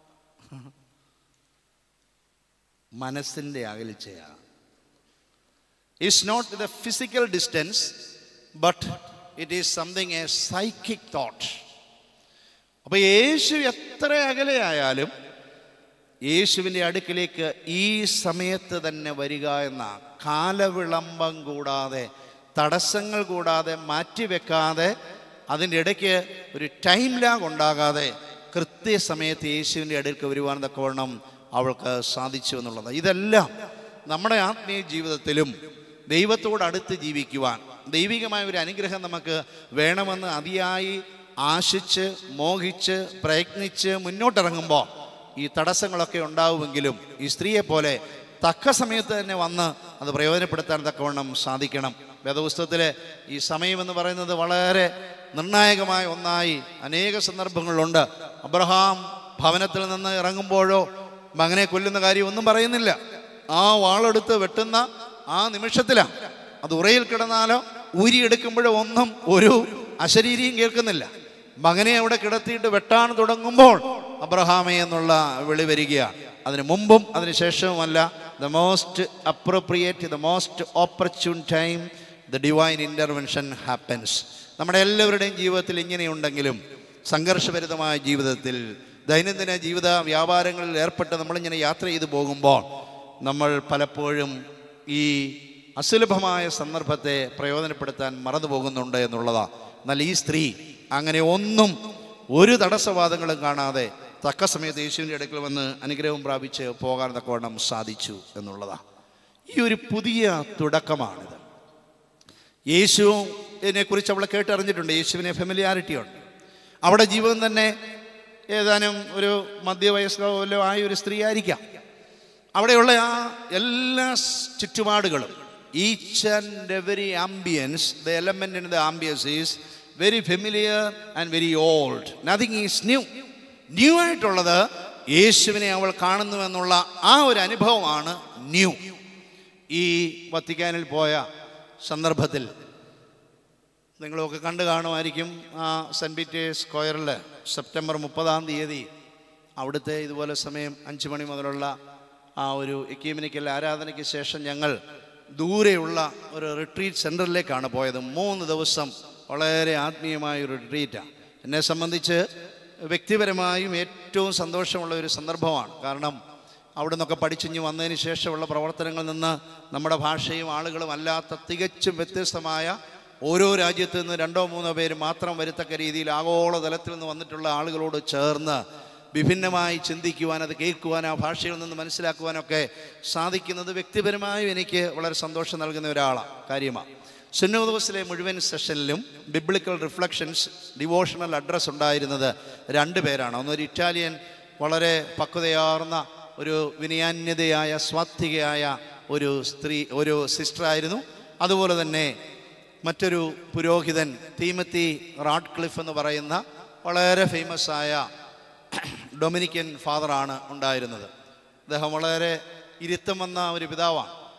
ഓർക്കണം പരിശുദ്ധനായ പോപ്പ് ഉൾപ്പെടെ ലോകത്തിന്റെ എല്ലാ ഭാഗത്തുമുള്ള പിതാക്കന്മാരെ ഇരിക്കുന്ന കൂട്ടത്തിൽ അവർക്ക് റിട്രീറ്റ് എടുക്കുക എന്ന് പറഞ്ഞാൽ അതിനുള്ള സെലക്ഷൻ എത്ര വർഷത്തിന് മുമ്പ് അവർ തുടങ്ങിയിട്ടായിരിക്കും രണ്ടുപേരെ അങ്ങനെ കണ്ടെത്തിയത്. അദ്ദേഹത്തിന്റെ ഒരു ബിബ്ലിക്കൽ റിഫ്ലക്ഷനിലെ സുന്നോദോസ് നടക്കുന്ന ഇടയ്ക്ക് തന്നെയാണ് ഈ for a synodal church participation communion and mission എന്നുള്ളതായിരുന്നു ഈ ഈ നമ്മുടെ ഈ പ്രധാനപ്പെട്ട ഒരു തീം അപ്പോൾ ഈ സുന്നദോസ് തുടങ്ങി ലോകത്തിൽ സഭയ്ക്കൊരു വ്യതിയാനം ഉണ്ടാവുമോ? സ്ത്രീകൾക്കധികം പങ്കാളം കിട്ടുമോ?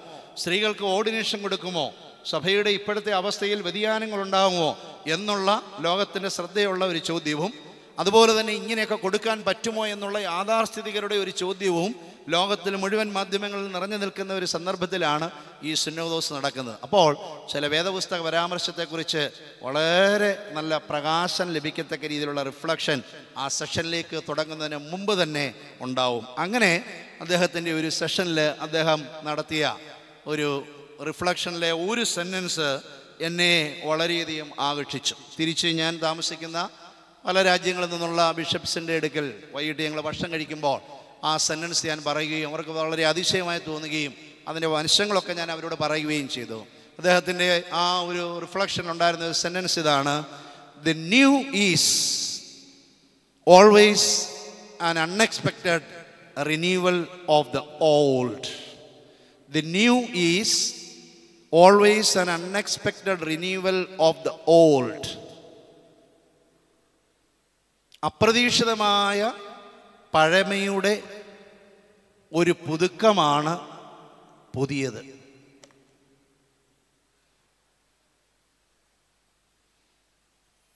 ഇന്നിപ്പോൾ ഈ പ്രസംഗിക്കുന്നത് ഒരു പുതിയ പ്രസംഗമല്ലേ? ഈ പ്രസംഗം പുതിയതാണോ? ഇവിടെ പറയുന്ന മലയാള ഭാഷ ഇപ്പം ആദ്യമായിട്ടാണോ നമ്മൾ കണ്ടുപിടിച്ചത് ഭാഷ എത്ര വർഷം പഴക്കമുണ്ട്? ഇത്രയും പഴക്കമുണ്ട്. ഇതല്ലേ നമ്മുടെ അടിസ്ഥാനം? ഇത് പുതിയതാണോ? ഈ നിൽക്കുന്ന ആൾ പുതിയതാണോ? ഇത് പുതിയതാണോ? ഇത് പുതിയതാണോ? ഈ സംവിധാനം പുതിയതാണോ? എന്തെങ്കിലും പുതുമയുള്ളതുണ്ടോ ഇല്ല. So the new is always an unexpected renewal of the old അപ്പോൾ സഭ പുതുക്കുക എന്ന് പറഞ്ഞു കഴിഞ്ഞാൽ സഭയെ തച്ചുടച്ച് വാർത്തിട്ട് പുതുക്കത്തില്ല.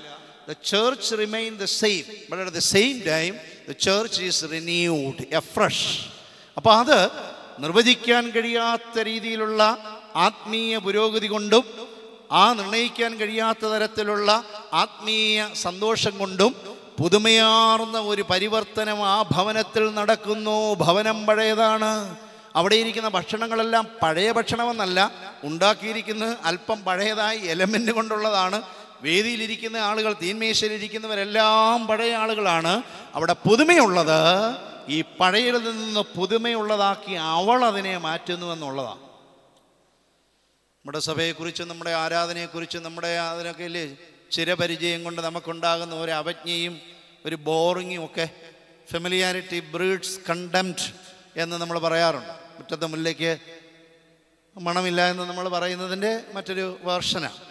അപ്പോൾ ഈ പുതുമയില്ല എന്ന് വിചാരിക്കുന്ന ഇതിലെല്ലാം ഞാൻ യൂസ്ഡ് ആണ്. This is so familiar to me there is nothing new in it എന്ന് പറഞ്ഞാൽ അങ്ങനെ ഒരു ന്യൂ ഉണ്ടാകുകയില്ല. Unless we make it new നമ്മൾ അതിനെ പുതുമയുള്ളതാക്കി മാറ്റേണ്ടതാണ്. അപ്പോൾ പുതിയ ഒരു തുടക്കം ഈ സ്ത്രീ സൃഷ്ടിച്ചുവെന്ന് പറഞ്ഞാൽ ഈ ദൈവത്തിന്റെ ഒരു പ്രഭാവലയത്തിലേക്ക് വന്നതുകൊണ്ട് ദൈവത്തിന്റെ ഒരു കൃപാ വ്യാപാര ശക്തിക്കുള്ളിലാണ് അവൾ പ്രവർത്തിക്കുന്നതെങ്കിലും it's all started with woman it's not with Jesus or any other person all started the initiative has been taken from the women a sinner അത് ഇവിടെ വന്നു കഴിഞ്ഞപ്പോൾ അതിന്റെ ഛായയിലും രൂപത്തിലും ക്വാളിറ്റിയിലും എല്ലാം വ്യത്യാസം വന്നെന്നുള്ളൂ പ്രിയമുള്ളവരെ അഭിവന്ദനായ വസ്താദ്യോസ് തിരുമേനി വിദേശത്ത് പഠനമൊക്കെ കഴിഞ്ഞ് തിരിച്ചെത്തുമ്പോൾ കേരളത്തിന് പുറത്തോക്കൊക്കെ യാത്ര ചെയ്ത് വന്നു കഴിയുമ്പോഴാണ് നമ്മുടെ സഭയിലെ നമ്മുടെ ഒരു കൊച്ചൊരു സഭ നമുക്ക് വലിയ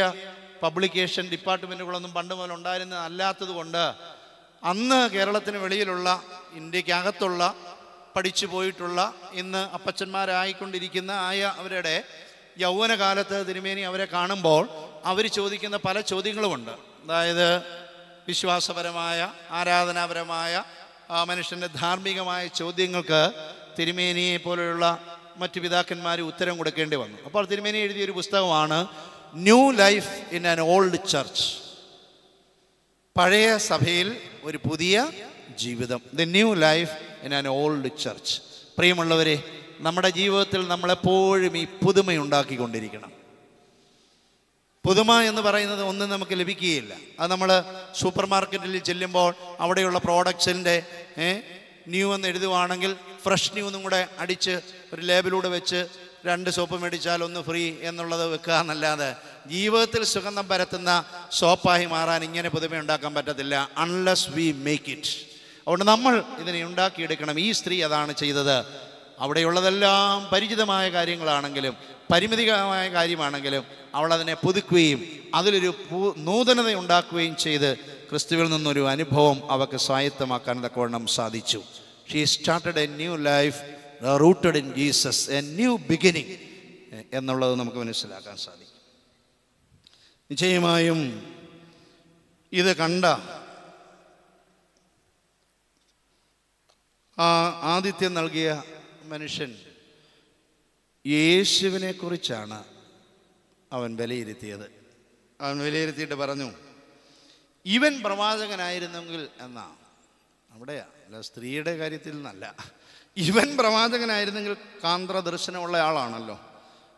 Things can be seen foresightedness ഉണ്ടായി. മുന്നേ കാണാൻ തക്കവണ്ണം കഴിയും. അതുകൊണ്ട് അവന് പ്രവാചകനായിരുന്നുവെങ്കിൽ തന്നെ തുടർന്ന സ്ത്രീ ആരെന്നും അവൾ എങ്ങനെയുള്ളവളെന്നും അറിയുമായിരുന്നു. അവൾ പാവിയല്ലോ എന്ന് ഉള്ളിൽ പറഞ്ഞു. ആത്മഗതമാ. ഈ ആത്മകഥ നമ്മളായിരുന്നെങ്കിൽ എങ്ങനെയായിരിക്കും പറയുന്നത്? ആത്മഗതമായിട്ട് നിൽക്കുമോ പരീശനാണെങ്കിലും ഇത്രയും സമ്പന്നനാണെങ്കിലും അവൻ ഇതാരോടും പറഞ്ഞില്ല. നമ്മളായിരുന്നെങ്കിൽ എന്ത് ചെയ്തേനെ? സോഷ്യൽ മീഡിയ നോക്കിയാൽ മതി. നമ്മുടെ ഉള്ളിൽ പറയേണ്ട കാര്യങ്ങൾ പള്ളിയിൽ പറയേണ്ട കാര്യങ്ങൾ പള്ളിയിൽ അച്ഛനോട് മാത്രം പറയേണ്ട ഒരു കാര്യം പൊതുയോഗത്തിൽ പറയേണ്ട കമ്മിറ്റിയിൽ പറയേണ്ട ആ- അതിന്റെ ആ പവിത്രത നിലനിൽക്കേണ്ട കാര്യങ്ങൾ ഇതിനെ ചളവാക്കാൻ കഴിയുന്നിടത്തോട്ട് നേരെ കയറ്റിയിടുക എന്നുള്ളതാണ് കഴിയുന്നെങ്കിൽ അതിന്റെ ഒരു ലൈവ് കൊടുക്കാൻ ശ്രമിക്കും. സാധ്യതയില്ലെങ്കിൽ നല്ല എഴുത്ത്. എത്രയോ ആളുകൾ എഴുതാൻ കഴിവില്ല എന്ന് പറഞ്ഞ ആളുകൾക്ക് എഴുത്തിന് ശേഷിയുണ്ടെന്നൊക്കെ മനസ്സിലായത് ഇതൊക്കെ വന്നതിന് ശേഷമാണ് അവർ പോലും അറിയത്തില്ല ഞാൻ തന്നെയാണ് ഇതൊക്കെ എഴുതിയെന്ന്. എന്നാൽ അവൻ ഉള്ളിൽ പറഞ്ഞു ഈ പുറത്തോട്ട് പറയുന്നതിനേക്കാളും അതാണ് ഈ പരീശന്റെ ഒരു ഗുണമേ. യേശു പോയതിന് ശേഷം ഇത് നാട്ടിലെല്ലാം പറയും എങ്കിലും ആദ്യമേ അവന്റെ ഒരു സെൽഫ് അസസ്മെന്റാ ഇവൻ പ്രവാചകനായിരുന്നുവെങ്കിൽ ഈ സ്ത്രീ അവനെ തൊട്ട ഈ സ്ത്രീ ആരെന്നും ഇവൾ സ്വഭാവത്തിൽപ്പെട്ടവളാണെന്നും അറിയുമായിരുന്നു. അവൾ പാവിയായ ഒരു സ്ത്രീ സ്ത്രീയാകുന്നുവല്ലോ എന്ന് അവനുള്ളിൽ ഇങ്ങനെ നനച്ചു. പ്രിയമുള്ളവരെ യേശു തമ്പുരാൻ അനേക സന്ദർഭങ്ങളിൽ കർത്താവിന്റെ തീന്മേശ സുവിശേഷ പ്രഘോഷണത്തിന്റെ ഒരു വേദിയാണ് തീന്മേശയിൽ ഇരിക്കുമ്പോൾ തന്നെ തീന്മേശയിലായിരിക്കുമ്പോൾ തന്നെ കർത്താവ് ഒരു ഉപമയും കൂടെ പറയുകയാണ് So ഇത് the is set set around actual life event.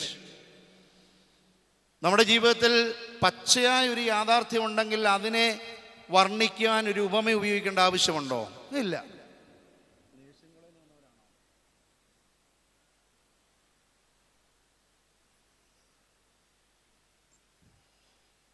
Theory class കാണത്തില്ലേ കുറച്ചെങ്കിലും? അപ്പോൾ പേഷ്യന്റിനെ അവിടേക്ക് കൊണ്ടുവരുമോ ഇപ്പം എന്തെങ്കിലും കാണും ഇത് തന്നെ ഡോക്ടർമാരുടെയും എഞ്ചിനീയറിങ്ങിനും എല്ലാത്തിനും. കോഴ്സ് തീരുന്നിടം വരെ ഇങ്ങനെ പഠിപ്പിച്ചാൽ എങ്ങനെ ഇരിക്കും? ഇപ്പോഴത്തേനേക്കാളിലും ദുസ്ഥിതി ആയിരിക്കും അല്ലേ? ഏ? പേഷ്യന്റിന്റെ അടുത്ത് കൊണ്ടുവന്നിട്ട് ഇതാണ് ഇങ്ങനെയാണ് ഇഞ്ചക്ഷൻ എടുക്കേണ്ടതെന്ന് പറഞ്ഞിട്ട് ആ നമ്മളൊന്ന് സൂക്ഷിച്ചു നോക്കിയാൽ അവിടെ ഇവിടെ എല്ലാ ദിവസവും ഈ വിഷയമുണ്ട്. അപ്പോൾ ഇതിങ്ങനെയാണെന്ന് ഊഹിക്കുക ഇതാണ് ഞരമ്പ് എന്ന് ഊഹിക്കുക എന്ന് പറഞ്ഞ് പഠിപ്പിച്ചാൽ എങ്ങനെ ഇരിക്കും അല്ലേ? ഊഹാഭോഗമായി മാറും. എങ്കിലും ഷീമോൻ ഇത് പെട്ടെന്ന് മനസ്സിലാകാതിരിക്കാൻ ആ യേശുവിന്റെ ആ ഒരു വൈഭവം ഒരു ഒരു ഗുരുവെന്ന നിലയിലുള്ള അത് നമ്മൾ പഠിക്കേണ്ടതാണ് ഷിമോൻ ഒന്നും അറിയാത്ത രീതിയിൽ നമ്മുടെ ഇപ്പോഴത്തെ രീതിയിൽ അതിനെ കാറ്റഗറൈസ് ചെയ്തതിനെ പോലെയുള്ള പഠിതാക്കളൊക്കെ അതിനെ യേശുവിനെ ഡിപ്ലോമാറ്റിക് വേ യേശുവിനെ വെരി സട്ടിൽ വേ യേശുവിനെ very crafty way he put this എന്നൊക്കെ പറയേണ്ടി വരും അല്ലേ ഒന്നുമില്ല. ഷീമോനെ ഒരിടത്ത് ഒരു മനുഷ്യൻ കടം കൊടുക്കുന്നവനുണ്ടായിരുന്നു. രണ്ട് പേര് കടം വാങ്ങിച്ചു. രണ്ട് പേരിൽ ഒരാൾ അധികം കടം മേടിച്ചു ഒരാൾ കുറച്ച് കടം മേടിച്ചു. രണ്ടു പേർക്ക് നിവർത്തിയില്ല എന്ന് അത് വീട്ടുവാൻ. രണ്ടുപേർക്ക് വിളച്ചു കൊടുത്തു. അതിൽ ആരായിരിക്കും കൂടുതൽ സന്തോഷിക്കുന്നത്? ആരായിരിക്കും ആ യജമാനോട് കൂടുതൽ സ്നേഹവും താല്പര്യമുള്ളവന് ഒരു സംശയം വേണ്ട. കാരണം അവനെ സംശയിക്കാത്ത കാര്യമുണ്ട്. അവൻ പെട്ടെന്ന് പറയുന്നത് എങ്ങനെയാ ഞാൻ ഊഹിക്കുന്നുവെന്നാ. സോ ഐ തിങ്ക് ഞാൻ ഊഹിക്കുന്നത് അത് അധികം ഇളച്ചു കൊടുത്തവനായിരിക്കും. ഇനിയും കർത്താവ് കാര്യത്തിലേക്ക് നടന്നു. രണ്ടാമത്തെ ഒരു ചിന്തയായി എനിക്ക് പറയാനുള്ളത് കർത്താവിന്റെ ഈ ഉപദേശത്തിന്റെ ഭാഗത്തേക്ക് വരുമ്പോഴാണ്. യേശു തമ്പുരാൻ ഷീമോനോട് പറയുകയാണ് ഷീമോനെ എപ്പോഴാണ് ആദ്യമായിട്ട് അവനെ വിളിക്കുന്നത്? ചില സന്ദർഭങ്ങളിൽ ആളുകളെ പേര് ചൊല്ലി തന്നെ വിളിച്ചില്ലെങ്കിൽ എന്നെ അല്ല ഇങ്ങനെ പറയും മനുഷ്യൻ അല്ലേ? അല്ലല്ല. ഇയാളെ തന്നെ ഉദ്ദേശിച്ചൊന്ന് സ്പെസിഫിക് ആയിട്ട് പറയേണ്ട വരും. എന്തെങ്കിലും ചുമതലകളോ എന്തെങ്കിലും ഇതുപോലെയുള്ള ആത്മസംഘർഷങ്ങൾ ഉണ്ടാക്കുന്നതോ ആണെങ്കിൽ ഞാനല്ല എന്നെയല്ല വിളിച്ചതെന്ന് മനുഷ്യൻ പെട്ടെന്ന് പറയും. അതുകൊണ്ട് ആദമേ നീ എവിടെയെന്ന് തന്നെ വിളിച്ചു. ആകെ ഒരു ആദമേ ഉള്ളൂ അപ്പോൾ പേര് വിളിച്ചില്ലെങ്കിലും എവിടെയാന്ന് ചോദിച്ചാൽ പോരെ? വേദപുസ്തക വിവരണം അനുസരിച്ച് ആദം മാത്രമല്ലേ ഉള്ളൂ. ആദവും ഹവേ ഉള്ളൂ. ഒരു പുരുഷനും ഒരു സ്ത്രീ ആദ്യമേ ക്രിയേറ്റ് ചെയ്ത് അങ്ങനെയാണല്ലോ മനുഷ്യാന്ന് എവിടെയാന്ന് ചോദിച്ചാൽ മതി. പക്ഷെ പേരൂടെ ചോദിച്ചാൽ ഏതായാലും ഈ സ്ത്രീയെ കാണുന്നുവോ എന്നാണ് ചോദിച്ചത്. ഈ സ്ത്രീയെ കാണുന്നുവോ? അവിടെ യാതൊരു തരത്തിലും അവന് നിലനിൽപ്പുണ്ടാകാൻ സാധിക്കുകയില്ല. പിടിച്ചു നിൽക്കാനായിട്ടൊന്നുമില്ലാത്തൊരവസ്ഥയാണ് ഇവിടെ കർത്താവ് എങ്ങനെ അവളെ സ്വീകരിച്ചു എങ്ങനെ അവൾക്ക് വിലയിട്ടു എന്ന് ചോദിച്ചാൽ അന്നും ഇന്നും എന്നും ദൈവത്തിന് ഏറ്റവും വിലപ്പെട്ടതായി ദൈവത്തിന് ഏറ്റവും സ്വീകാര്യമായി തീരുന്ന ഒന്നേ ഉള്ളൂ അത് അനുതാപമാണ്. അനുതാപികളെ സ്വീകരിക്കുന്ന കർത്താവിനെയാണ് നമുക്ക് കാണാൻ കഴിയുന്നത്. അനിതാവിയെ സ്വീകരിക്കുന്ന വിരുന്നിരിക്കുന്നവരല്ല. വിരുന്നൊരുക്കിയൊണ്ടൊന്നും യേശുവിന്റെ സംപ്രീതി ലഭിക്കുകയില്ല. പെരുന്നാൾ കഴിയുമ്പോൾ അനൗൺസ്മെന്റ് ചെയ്യാനായിട്ട് പറ്റും. നമ്മുടെ നോട്ടീസിലും വരും നോട്ടീസ് ബോർഡിൽ ഒരു മാസത്തേക്ക് വേണമെങ്കിൽ ഇടാം.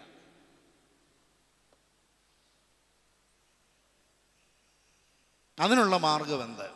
എന്തെല്ലാം കാര്യങ്ങൾ ദൈവസന്നിധിയിൽ സമർപ്പിച്ചാൽ നമുക്ക് ദൈവസംപ്രീതി നേടാം മനുഷ്യർ നല്ല പണമുള്ളത് കൊണ്ടും ജീവിത സാഹചര്യങ്ങൾ അങ്ങനെ നല്ല രീതിയിലേക്ക് പുരോഗമിക്കുന്നതുകൊണ്ട് നമ്മുടെ ജീവിതത്തെ സ്പർശിക്കാത്ത അധികം വരുന്ന എന്തും നമ്മൾ ദാനമായി നൽകി ആളുകളുടെ പ്രീതി നേടാൻ വേണ്ടി മനുഷ്യൻ മുൻകാലങ്ങളെക്കാൾ ഉപയോഗിക്കുന്ന ഒരു കാലഘട്ടത്തിലാണ് നമ്മളിന്ന് ജീവിക്കുന്നത്. അതുകൊണ്ട് എന്റെ പ്രീതി ചിലപ്പോൾ കിട്ടും എന്നോട് ചേർന്നുള്ളവരുടെ പ്രീതി കിട്ടും.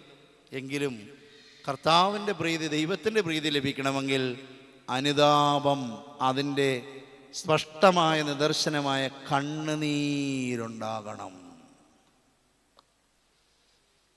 സമയം വളരെ വേഗത്തിൽ പോകുന്നു.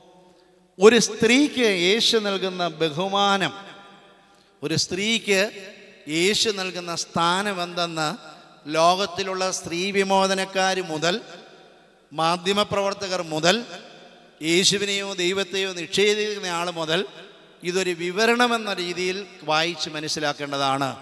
ഇങ്ങനെ പരാമർശിക്കപ്പെട്ട ഒരു സ്ത്രീയെ ആ വേദിയിൽ വെച്ച് യേശു റെക്കഗ്നൈസ് ചെയ്തിട്ട് പറയുകയാണ് ഇവളെ നീ കാണുന്നുവോ?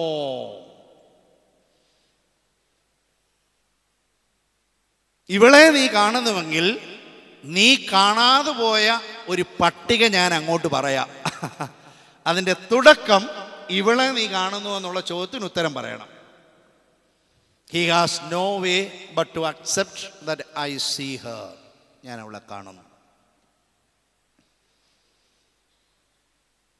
ഞാൻ ഈ ഭവനത്തിലേക്ക് വന്നല്ലോ. ഈ സ്ത്രീ വരുന്നതിന് മുമ്പ് തന്നെ ഞാൻ വന്നു. നീ എന്റെ പാദങ്ങൾ കഴുകി എന്നെ സ്വീകരിക്കേണ്ടതായിരുന്നു. പക്ഷെ നീ എന്റെ പാദങ്ങൾക്ക് വെള്ളം തന്നില്ല എന്നെ കാൽ കഴുകി നീ സ്വീകരിച്ചില്ല. അപ്പോൾ എന്നെ സ്വീകരിക്കുന്നതിൽ നിന്ന് അതിന്റെ ആ ആദിത്യ മര്യാദയുടെ ബാലപാഠങ്ങൾ നീ മറന്നുപോയി. രണ്ടാമത് നീ എന്നെ ചുംബിച്ചില്ല. അവിടെ ഒന്ന് രണ്ട് വാക്കുകൾ ഉപയോഗിക്കുന്നതൊക്കെ വളരെ ശ്രദ്ധേയമാണ്. എന്നാൽ ഈ സ്ത്രീ അവൾ വന്നത് മുതൽ അതാണ്. അല്ല സൗകര്യം കിട്ടുമ്പോഴെന്നല്ല. ആ ഞാനിവിടെ ഇരിക്കുമ്പോൾ അവൾ കടന്നു വന്നത് മുതൽ ഇറ്റ്സ് എ സ്റ്റാർട്ടിംഗ് പോയിന്റ്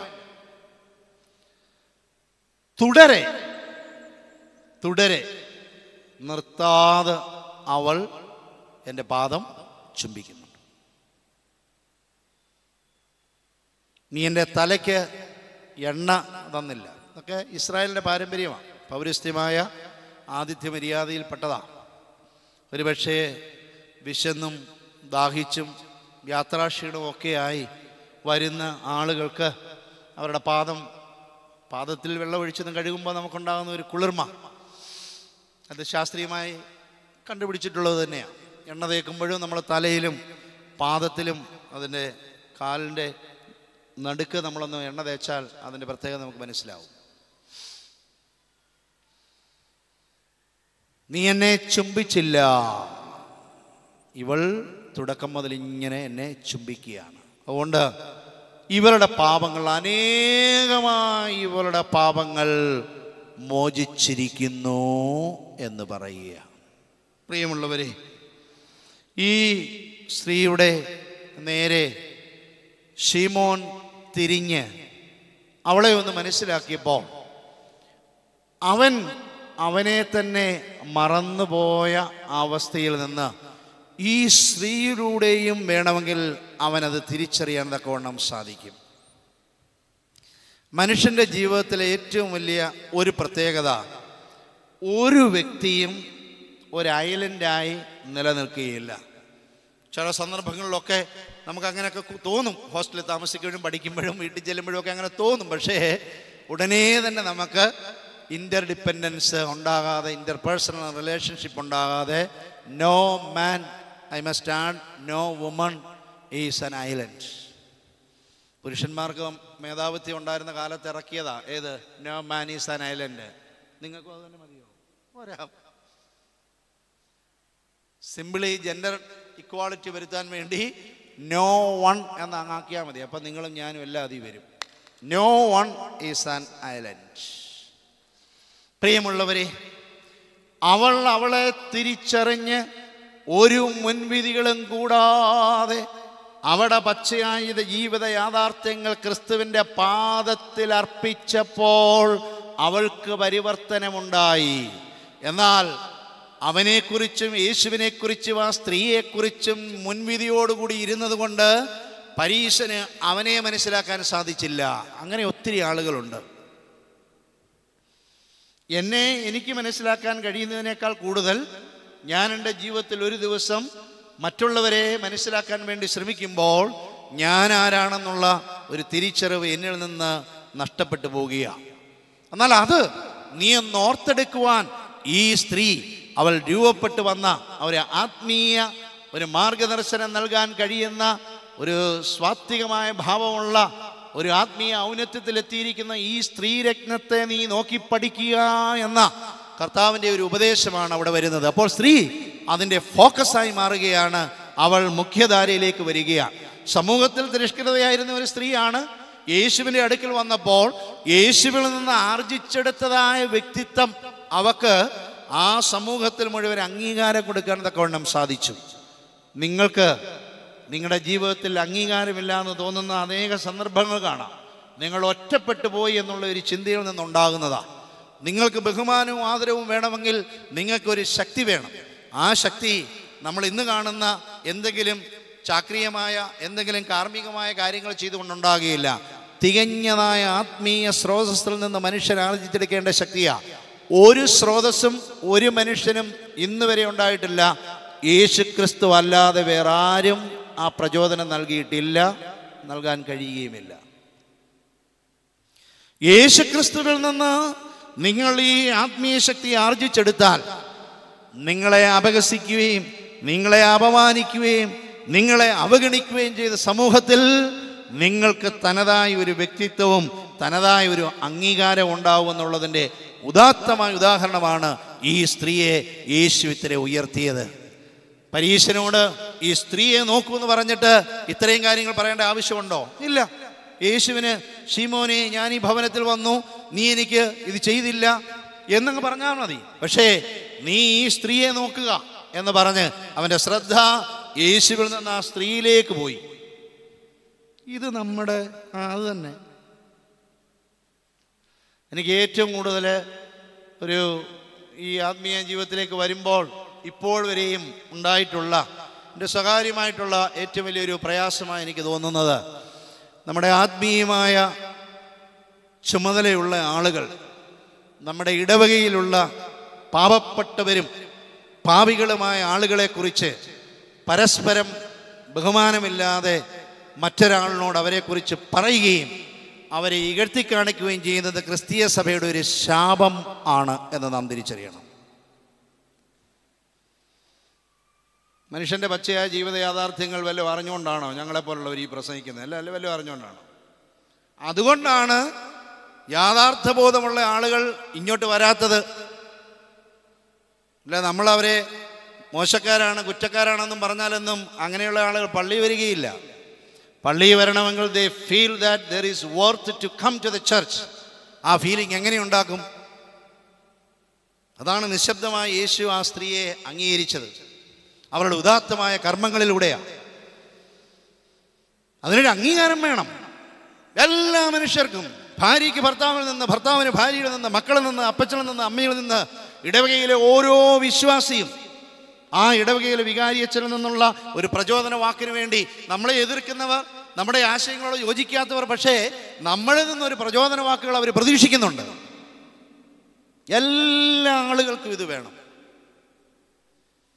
ഒറ്റ മനുഷ്യർക്ക് ഇത് വേണ്ടാത്തതല്ല. ഏത് ഉന്നതങ്ങളിൽ നിങ്ങൾ ഏത് ഏറുമാടത്തിൽ കയറിയിരുന്ന് ആത്മീയതായ സന്യാസിയാകാൻ ശ്രമിച്ചാലും അവിടെയും നിങ്ങൾക്ക് അതിന്റെ ഒരു അംഗീകാരം വേണം. നമ്മൾ അംഗീകാരം എന്ന് പറയുമ്പോൾ നമ്മൾ വിചാരിക്കുന്നത് പോലെ ഒരു റെക്കഗ്നേഷൻ ആയിരിക്കണമെന്നില്ല. ഇങ്ങനെ മനുഷ്യനെ ദൈവം സൃഷ്ടിച്ചിട്ടുള്ളൂ. ഇങ്ങനെ സൃഷ്ടിക്കപ്പെടാത്തവരുണ്ടെങ്കിൽ സ്വതന്ത്രമായിട്ട് നിൽക്കാം കേട്ടോ. എന്റെ കയ്യിലിരിക്കുന്ന വേദോസ്ത വിവരണം അനുസരിച്ച് മനുഷ്യനെ ഇങ്ങനെ മനുഷ്യ ദൈവം സൃഷ്ടിച്ചിട്ടുള്ളൂ. എന്റെ അമ്മയും പിതാവും എന്റെ സഹോദരിമാരും ഇല്ലാതെ ഒരു ദിവസം കൊണ്ട് സന്യാസിയായി ഈ സ്ഥാനത്തെത്തി നിൽക്കുകയാണോ? അല്ല.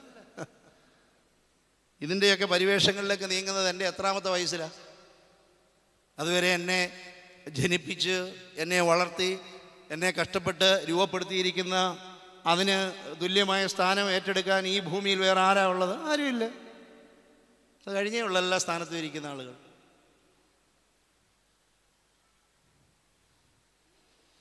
അപ്പോൾ പ്രിയമുള്ളവരെ ആ സ്ത്രീ യേശുവിന്റെ പാദത്തിലേക്ക് അവിടെ ശ്രദ്ധ കൊണ്ടുപോയി.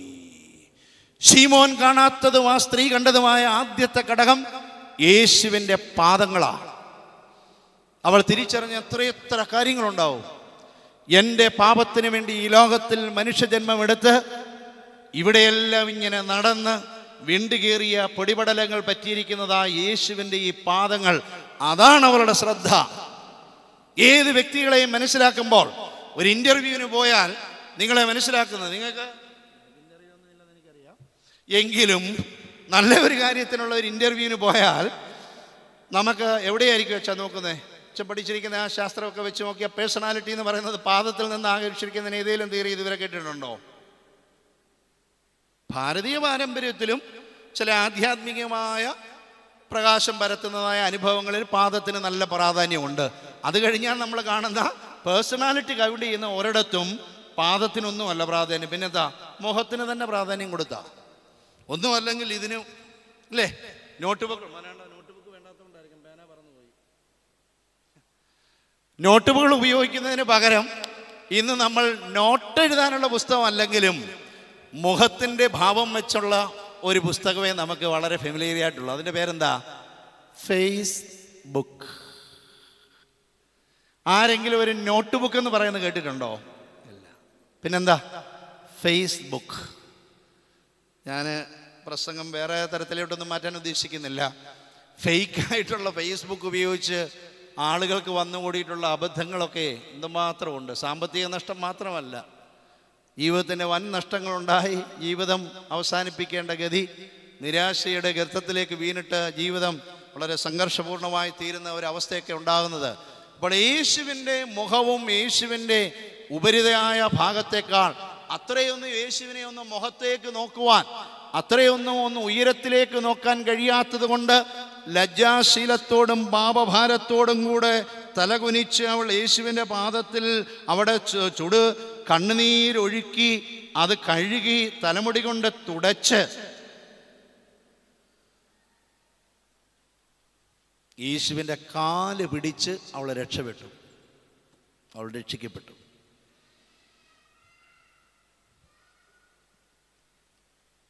എന്റെയും നിങ്ങളുടെയും ഒക്കെ ദൈവാശ്രയത്തിന്റെ ഒരു ചെറിയ അപാകത എന്താണെന്ന് അറിയാമോ നമ്മൾ ദൈവത്തിൽ ആശ്രയിക്കും. സ്പൊറാഡിക്കലി നിന്നും അവസരം വരുമ്പോഴെന്ന് ഞാൻ പറയുന്നില്ല. നമ്മളെല്ലാവരും ദൈവത്തിൽ ആശ്രയിക്കും. പക്ഷേ അതൊരു ഒരു അകലത്തിലുള്ള ഒരു കാര്യമാണ്. അതൊരു കോൺസ്റ്റന്റായ ഒരു ഡിസ്റ്റൻസിൽ അങ്ങനെ അങ്ങ് പോകുമെന്നുള്ളതേ ഉള്ളൂ.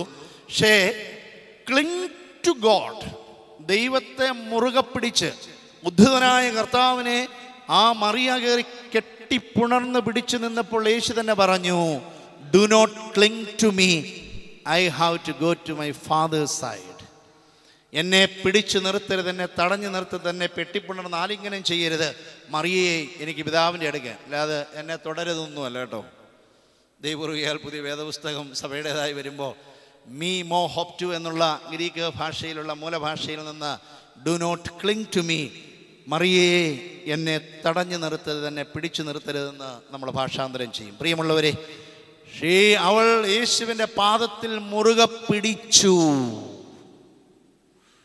എത്രയോ ആളുകൾ അവിടെ ജീവിതത്തിലൂടെ അവളെ വാരിപ്പുണർന്നൊക്കെ പോയിട്ടുണ്ട്. പക്ഷെ ഇന്ന് അവൾ യേശുവിൽ ആശ്രയിച്ചു. ഇങ്ങനെ സർവവും നഷ്ടപ്പെട്ടു. നീ മാത്രമേ എനിക്കൊരു ആശ്രയമുള്ളൂ. അതുകൊണ്ട് നീ എന്നെ അനുഗ്രഹിക്കണം. എനിക്കൊരു അനുഗ്രഹം നിന്നിൽ നിന്ന് വേണമെന്ന് പറയുന്ന രീതിയിൽ ഒരു നീഡ് ഫീൽ ചെയ്ത് ഞാനും നിങ്ങളും ദൈവത്തെ ആരാധിക്കുന്നില്ല ദൈവത്തിൽ ആശ്രയിക്കുന്നില്ല. ദൈവമുണ്ടെന്നും നമ്മുടെ ആവശ്യങ്ങളൊക്കെ അറിയുന്നെന്നും ഇന്നത്തേക്കുള്ള ആഹാരം തരണമെന്ന് പറഞ്ഞില്ലെങ്കിലും അത് സമയത്ത് കിട്ടുമെന്നുമുള്ള ഒരു അണ്ടർസ്റ്റാൻഡിങ്ങിൽ പോകുകയല്ലാതെ ഈ സ്ത്രീയുടെ ഒരു നിർണായകമായ ഒരവസ്ഥ പോലെ യേശുവിനെ അങ്ങനെ പുൽകി വാരിപ്പുണരുന്ന ഒരവസ്ഥ നമുക്കുണ്ടാകുന്നില്ല. പ്രിയമുള്ളവരെ ഞാൻ എന്റെ വാക്കുകളെ അവസാനിപ്പിക്കട്ടെ. അവിടെ കണ്ണുനീര് അവരുടെ ആ ഒരു നന്മയുടെ വശത്തേക്ക് വന്നപ്പോൾ ഉള്ള ഓരോ പ്രവർത്തികളും അവൾ ചെയ്തതായി നമ്മൾ വായിക്കുന്നുണ്ടെങ്കിലും യേശു തിരിഞ്ഞറിച്ച് തിരിച്ചറിഞ്ഞ് യേശു ഇത് കൗണ്ട് ചെയ്തു എന്നുള്ളത് അർത്ഥം. യേശു ഇത് തിരിച്ചറിഞ്ഞു എന്ന് ആദ്യമേ അവൾ ചെയ്തപ്പോൾ കാണുന്നുണ്ടോ? ഇല്ല. അതാണ്. ഈ വിവരണത്തിന്റെ ഒരു പ്രത്യേകത ശ്രദ്ധിച്ചേ. യേശുവിന്റെ പാദങ്ങൾ ചുടുകണ്ണുനീര് കൊണ്ട് കഴുകി തലമുടി കൊണ്ട് തുടച്ച് സുഗന്ധലേപനം അണിയിച്ച് അവിടെ ചുമ്മനം ചെയ്തുകൊണ്ടിരുന്ന ഉത്കൃഷ്ടമായ പ്രവർത്തികൾ ചെയ്തപ്പോൾ യേശു അത് റെക്കഗ്നൈസ് ചെയ്ത് ഒരു സർട്ടിഫിക്കേഷൻ കൊടുത്തില്ല.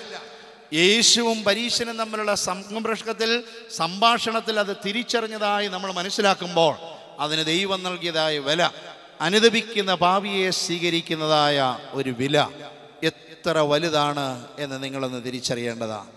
എനിക്കും നിങ്ങൾക്കും ഈ ലോകത്തിൽ കണ്ണുനീര് വരുവാൻ തക്കവണ്ണം സാധിക്കണം.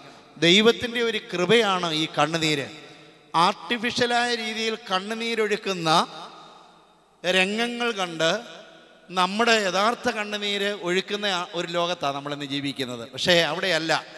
ആർട്ടിഫിഷ്യലായ കണ്ണുനീരൊഴുക്കുന്നത് കണ്ടിട്ട് നമ്മുടെ കണ്ണുനീരൊഴുക്കുകയല്ല. നമ്മുടെ യഥാർത്ഥമായ സ്വതസിദ്ധമായ രീതിയിൽ നമുക്കുണ്ടാകുന്ന നൈസർഗികമായ വികാരങ്ങളിൽ നിന്നുണ്ടാകുന്ന കണ്ണുനീര് ദൈവസന്നതിയിൽ അർപ്പിക്കുമ്പോൾ മാത്രമേ സാധിക്കുകയുള്ളൂ. യേശുവും പാപിയായി അവിടെ വരികയും പാപവിമോചനം നേടി പരിശുദ്ധിയാകുകയും ചെയ്ത പേര് പറയാത്ത സ്ത്രീ ഞാനാണ് നിങ്ങളാണ് എന്നെ കേൾക്കുന്ന ആരുമാണ് യേശുവിന്റെ അടുക്കൽ വന്ന് ഇതുപോലെ ദിവ്യമായ അനുഭവം ആഗ്രഹിക്കുന്ന യഥാർത്ഥമായി ആഗ്രഹിക്കുന്ന ഡെലിബറേറ്റ് ആയിട്ട് ആഗ്രഹിക്കുന്ന കോൺഷൻഷ്യസ് ആയിട്ട് ആഗ്രഹിക്കുന്നതായ ലോകത്തിന്റെ ഏത് ഭാഗത്തുമുള്ള ഏത് വ്യക്തിക്കും സ്ത്രീയെന്നോ പുരുഷനെന്നോ ശകനെന്നോ ദാസനെന്നോ സമ്പന്നനെന്നോ ദരിദ്രനെന്നോ ശിശുവെന്നോ വൃദ്ധനെന്നോ പക്ഷാഭേദമില്ലാതെ ആയിത്തീരുവാൻ കഴിയുമെന്നുള്ള സുവിശേഷത്തിന്റെ ആത്മീയതയുടെ ഒരു അനന്ത സാധ്യത ഈ സ്ത്രീയിലൂടെ നമ്മുടെ മുമ്പാകെ തുറന്ന് ലഭിക്കുകയാണ്. പരിശുദ്ധയായ മദർ തെരേസ ഒരിക്കൽ പറഞ്ഞു I can't do what you can do and you can't do what I can do but together we do greater things for God. I can't do what you can do. നിങ്ങളെ കൊണ്ട് ചെയ്യാൻ കഴിയുന്ന ഒരു കാര്യം എനിക്ക് ചെയ്യാൻ സാധിക്കുകയില്ല എന്നെ കൊണ്ട് ചെയ്യാൻ കഴിയുന്ന ഒരു കാര്യം നിങ്ങൾക്കും ചെയ്യാൻ സാധിക്കുകയില്ല പക്ഷേ when we put hands together നിങ്ങളും ഞാനും ഒന്നായി തീർന്നാൽ together we make greater things for God ഒന്നിച്ച് നമുക്ക് ചെയ്യാൻ തക്കവണ്ണം സാധിക്കും ഇവിടെ പരീശൻ ആത്മതപനമുള്ളവനായി തീർന്നിട്ടുണ്ട് യേശുവിന്റെ സാന്നിധ്യത്താൽ. പാവി എന്ന് മുദ്രകുത്തി ഇനി അവക്ക് പ്രതീക്ഷയില്ല. അവിടെ അധ്യായം കഴിഞ്ഞുവെന്ന് മുൻവിധിയോടെ എഴുതിയിരിക്കുന്ന ആ സ്ത്രീ യേശുവിന്റെ ആത്മത യേശുവിനോടുള്ള സംസർഗത്തിൽ യേശുവിനോടുള്ള സാമീപ്യത്തിൽ അനുഗ്രഹം പ്രാപിച്ച് വരുവാൻ തക്കവണ്ണം ഇടയായി. പ്രിയമുള്ളവരെ നമുക്ക് നമ്മുടെ ജീവിതത്തിന്റെ ഒരു നല്ല തുടക്കം ക്രിസ്തുവിനോട് ചേർന്ന് ആരംഭിക്കാം. മറ്റുള്ളവരെന്ത് പറയുന്നു എന്നുള്ളതല്ല. നമ്മുടെ ഉള്ളിലുള്ള വിചാരങ്ങൾ നമ്മളെ അതിന്റെ തടസ്സമാക്കി നിൽക്കാം. ഇനി നമ്മൾ ചെന്നെത്തേണ്ട സ്ഥലത്തെക്കുറിച്ച് ചിന്തിക്കുമ്പോൾ നമുക്ക് മുൻവിധികൾ ഉണ്ടാകാം. ഏത് തടസ്സങ്ങളാകട്ടെ. എത്രമാത്രം അത് നിങ്ങളുടെ മുമ്പിൽ പ്രതികൂലവും പ്രതിബിംബമായി നിന്നാലും നിങ്ങൾ യേശുവിന്റെ അടുക്കിലേക്ക് തക്ക സമയത്ത് വന്നാൽ അവൻ നമ്മെ വെറും കൈയോടെ വിടുകയില്ല. അതേ വ്യക്തിയായി നമ്മൾ തിരിച്ചു പോകേണ്ടതായി വരികയില്ല എന്നുള്ളത് ഒരു അനന്തമായ ഒരു സാധ്യതയാണ്. രണ്ടാമത് യഥാർത്ഥമായ അനുതാപവും കണ്ണുനീരും അതിനോട് ചേർന്നുള്ളതായ അനുഗ്രഹപൂർണമായ കർമ്മങ്ങളും ദൈവം ഏറ്റവും വിലമതിച്ച് സ്വീകരിക്കുകയും സ്ത്രീത്വത്തെ ബഹുമാനിക്കുകയും സ്ത്രീത്വത്തിലൂടെ സമൂഹത്തിന് വ്യത്യാസപ്പെടുത്തുവാൻ ഒരുപക്ഷെ ആ സമൂഹത്തിന് പാപമംഗലമായ ഒരു പേര് ഒരു അവസ്ഥ ഉണ്ടാക്കുവാൻ ഇവളതിന് കാരണമായി തീർന്നെങ്കിൽ ഇന്നു മുതൽ ആ സമൂഹത്തിന്റെ മാറ്റത്തിന്റെ ഒരു ചാലകശക്തിയായി ഈ സ്ത്രീയെ മാറ്റുവാൻ ദൈവത്തിന് സാധിക്കും. അങ്ങനെ ആത്മപ്രചോദനമായി സുവിശേഷത്തിന്റെ വെളിച്ചത്തോടു കൂടി ഭവനത്തിലേക്ക് പോകുന്ന മനുഷ്യന്റെ കർമ്മപഥങ്ങളിലേക്ക് പോകുന്ന ഓരോ വ്യക്തിക്കും സമൂഹത്തെ മാറ്റുവാൻ തക്കവണ്ണം സാധിക്കും. അതിന് വലിയ ദിവ്യപ്രഭ ചൊരിഞ്ഞ് പരിശുദ്ധിയുടെ പരിമളം പരിമലയിലും ലോകത്താകമാനം പരത്തി നമ്മുടെ മധ്യസ്ഥനായി നിൽക്കുന്ന പരിമല തിരുമേനിയുടെ നിത്യമായ മധ്യസ്ഥതയിലും അഭയത്തിലും നമുക്ക് ശരണപ്പെടാം. തിരുമേനിയുടെ ആ ഉത്കൃഷ്ടമായ സുവിശേഷ ദൗത്യപരമായ ആ പരിശുദ്ധമായ ജീവിതം നമുക്കൊരു പ്രചോദനമായി തീരട്ടെ. പെരുന്നാൾ ഏറ്റവും അനുഗ്രഹമായി തീർന്ന് നമ്മൾ പരിശുദ്ധിയുടെ പാദങ്ങളിലേക്ക് എത്തുവാൻ ക്രിസ്തുവിലേക്ക് അടുക്കുവാൻ ഇതൊരു പ്രാരംഭമാകട്ടെ എന്ന് ആശംസിച്ചുകൊണ്ട് ഞാൻ എന്റെ വാക്കുകളെ ഉപസംഹരിക്കുന്നു. ദൈവം നമ്മെ അനുഗ്രഹിക്കട്ടെ. ഇങ്ങനൊരു അവസരം ലഭിച്ചതിൽ ദൈവത്തെ ഞാൻ മഹത്വപ്പെടുത്തുകയും എന്നെ ഈ ദൗത്യത്തിനായി ക്ഷണിച്ച ഈ പഴയ പരിമല സെമിനാരിയുടെ മാനേജർ അഭിവന്ദനായ കെ വി പോൾ റംബാച്ചിനോടും മറ്റ് അതിന്റെ പിന്നിൽ പ്രവർത്തിക്കുന്ന അഭിവന്ദ പിതാക്കന്മാരും എല്ലാ വ്യക്തികളോടുമുള്ള നന്ദിയും സ്നേഹവും അർപ്പിച്ചുകൊണ്ട് ഞാൻ എന്റെ വാക്കുകളെ അവസാനിപ്പിക്കുന്നു.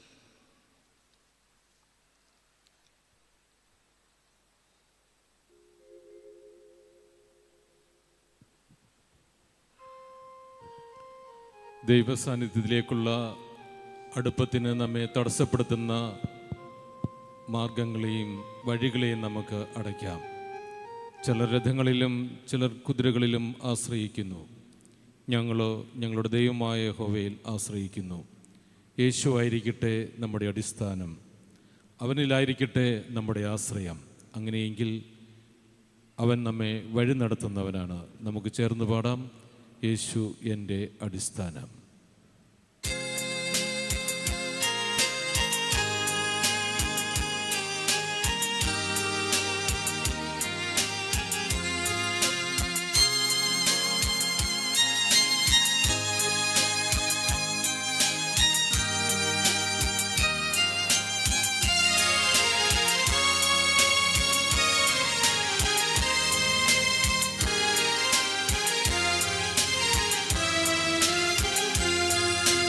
യേശുവിന്റെ അടിസ്ഥാനം.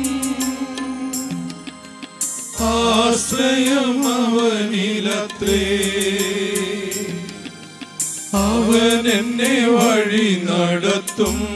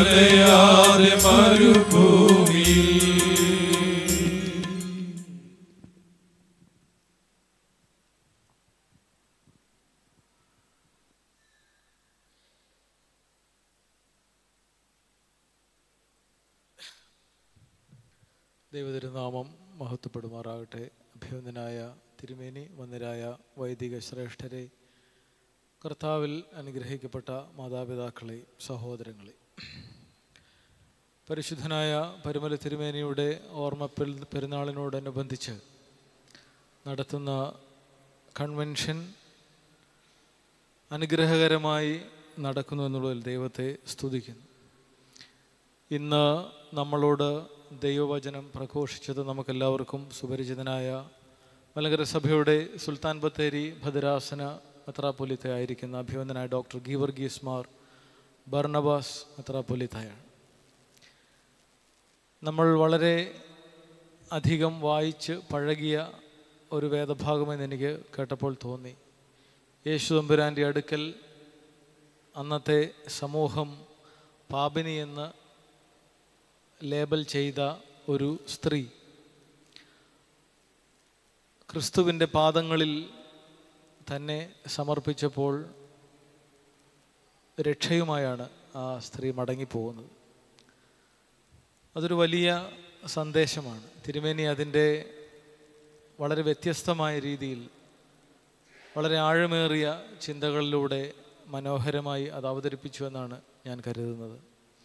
നമ്മൾ സൗകര്യപൂർവം വിസ്മരിച്ചു വച്ചിരിക്കുന്ന ഒരു യാഥാർത്ഥ്യമാണ്. നമ്മൾ ഒരു ആത്മീയതയുടെ മേലങ്കി അണിയുന്നു എന്നുള്ള ഭാവവും യഥാർത്ഥത്തിൽ ക്രിസ്തുവിലേക്ക് ക്രിസ്തു ആഗ്രഹിക്കുന്ന രീതിയിൽ ക്രിസ്തുവിലേക്ക് എത്തിപ്പെടാൻ കഴിയാതെ പോകുന്നതുമായ ഒരവസ്ഥ. അതിനെ വളരെ കൃത്യമായി ഈ വേദഭാഗത്തിലൂടെ തിരുമേനി അത് ആ ഒരു നമ്മുടെ സാധാരണ മനുഷ്യന്റെ ആത്മീയ ആത്മീയൻ എന്ന നമ്മുടെ ഭാവത്തെ പൊളിച്ചെഴുതി എന്നാണ് ഞാൻ കരുതുന്നത്. ഇവിടെ തിരുമേനിയുടെ ഏറ്റവും പ്രധാനപ്പെട്ട ഒരു ആശയമായി പറഞ്ഞത് ക്ഷണിക്കപ്പെടാത്ത ഒരു അതിഥിയായി ദൈവസന്നിധിയിലേക്ക് കടന്നു വരിക. ദുരഭിമാനം എന്നൊരു വാക്ക് തിരുമേനി ഉപയോഗിച്ചു. വളരെ യാഥാർത്ഥ്യമാണ്. ഇന്ന് അത് ചെറുപ്പക്കാരിൽ മാത്രമല്ല മറ്റു പലരിലും ജീവിതത്തിന്റെ പല തലങ്ങളിലേക്ക് നമ്മൾ ഉയരുമ്പോൾ ദൈവവുമായുള്ള ബന്ധത്തിൽ പരസ്യമായി അതിൽ ഇടപെടുന്നതിലൊരു ഒരു ദുരഭിമാനം സൂക്ഷിക്കുന്ന പലരെയും കാണാൻ കഴിയും. അങ്ങനെയുള്ളവർക്കൊരിക്കലും ഈ പാപിനിയായ സ്ത്രീയുടെ ആ സ്ത്രീക്ക് ലഭിച്ച രക്ഷയുടെ ആ ഒരു സൗഭാഗ്യം അതിലേക്ക് എത്തിപ്പെടാൻ കഴിയുകയില്ല എന്നുള്ള വലിയ ഒരു സന്ദേശമാണ് അഭിവന്യ തിരുമനസ്സുകൊണ്ട് നൽകിയത്. തിരുമേനി ഒരുപാട് തിരക്കിനിടയിലും ബത്തേരിയിൽ നിന്ന് ഒരു പള്ളി കൂതാശ കഴിഞ്ഞ് പാതിരാത്രി ഒരിടത്തെത്തി അവിടെ വിശുദ്ധ കുർബാന അർപ്പിച്ച് സമയത്ത് ഇവിടെ എത്തി വലിയ ഒരു സന്ദേശം നൽകിയ തിരുമേനിയോടുള്ള നന്ദിയും സ്നേഹവും അറിയിക്കുന്നു. അതുപോലെ ഈ കൺവെൻഷന്റെ ആരംഭം മുതൽ നമ്മൾ അനുഭവിക്കുന്ന ഒരു ഗാന ശുശ്രൂഷയുണ്ട് തുമ്പോൺ ഭദ്രാസനത്തിലെ വന്നിരായ വൈദികർ അടങ്ങിയ സെന്റ് ബേസിൽ ഗോസ്പിൾ ടീം അവർ ഇതിന്റെ അവസാന ദിവസം വരെ നമ്മളോടൊപ്പം ഉണ്ടാകും. തീർച്ചയായിട്ടും ഇന്നത്തെ ഈ ശുശ്രൂഷയ്ക്ക് തീർച്ചയായിട്ടും അവരോടുള്ള നന്ദിയും സ്നേഹവും അറിയിക്കുന്നു. ഇതിൽ സാന്നിധ്യം കൊണ്ട് ഇതിൽ സംബന്ധിച്ച എല്ലാവരോടുമുള്ള നന്ദിയും സ്നേഹവും. അതുപോലെ ഇവിടെയുള്ളവരെക്കാൾ പതിന്മടങ്ങ് വിവിധ ഇടങ്ങളിലിരുന്നു കൊണ്ട് പ്രാർത്ഥനാപൂർവം ഇതിൽ സംബന്ധിക്കുന്ന ഗ്രിഗോറിയൻ ചാനലിലൂടെ ഇതിൽ സംബന്ധിക്കുന്ന എല്ലാവരോടുമുള്ള നന്ദിയും സ്നേഹവും അറിയിച്ചുകൊണ്ട് വാക്കുകൾ നിർത്തുന്നു. ദൈവം നമ്മെ അനുഗ്രഹിക്കട്ടെ. എല്ലാവർക്കും എഴുന്നേൽക്കാം. ഇപ്പോൾ ആശീർവാദം നൽകുന്നു.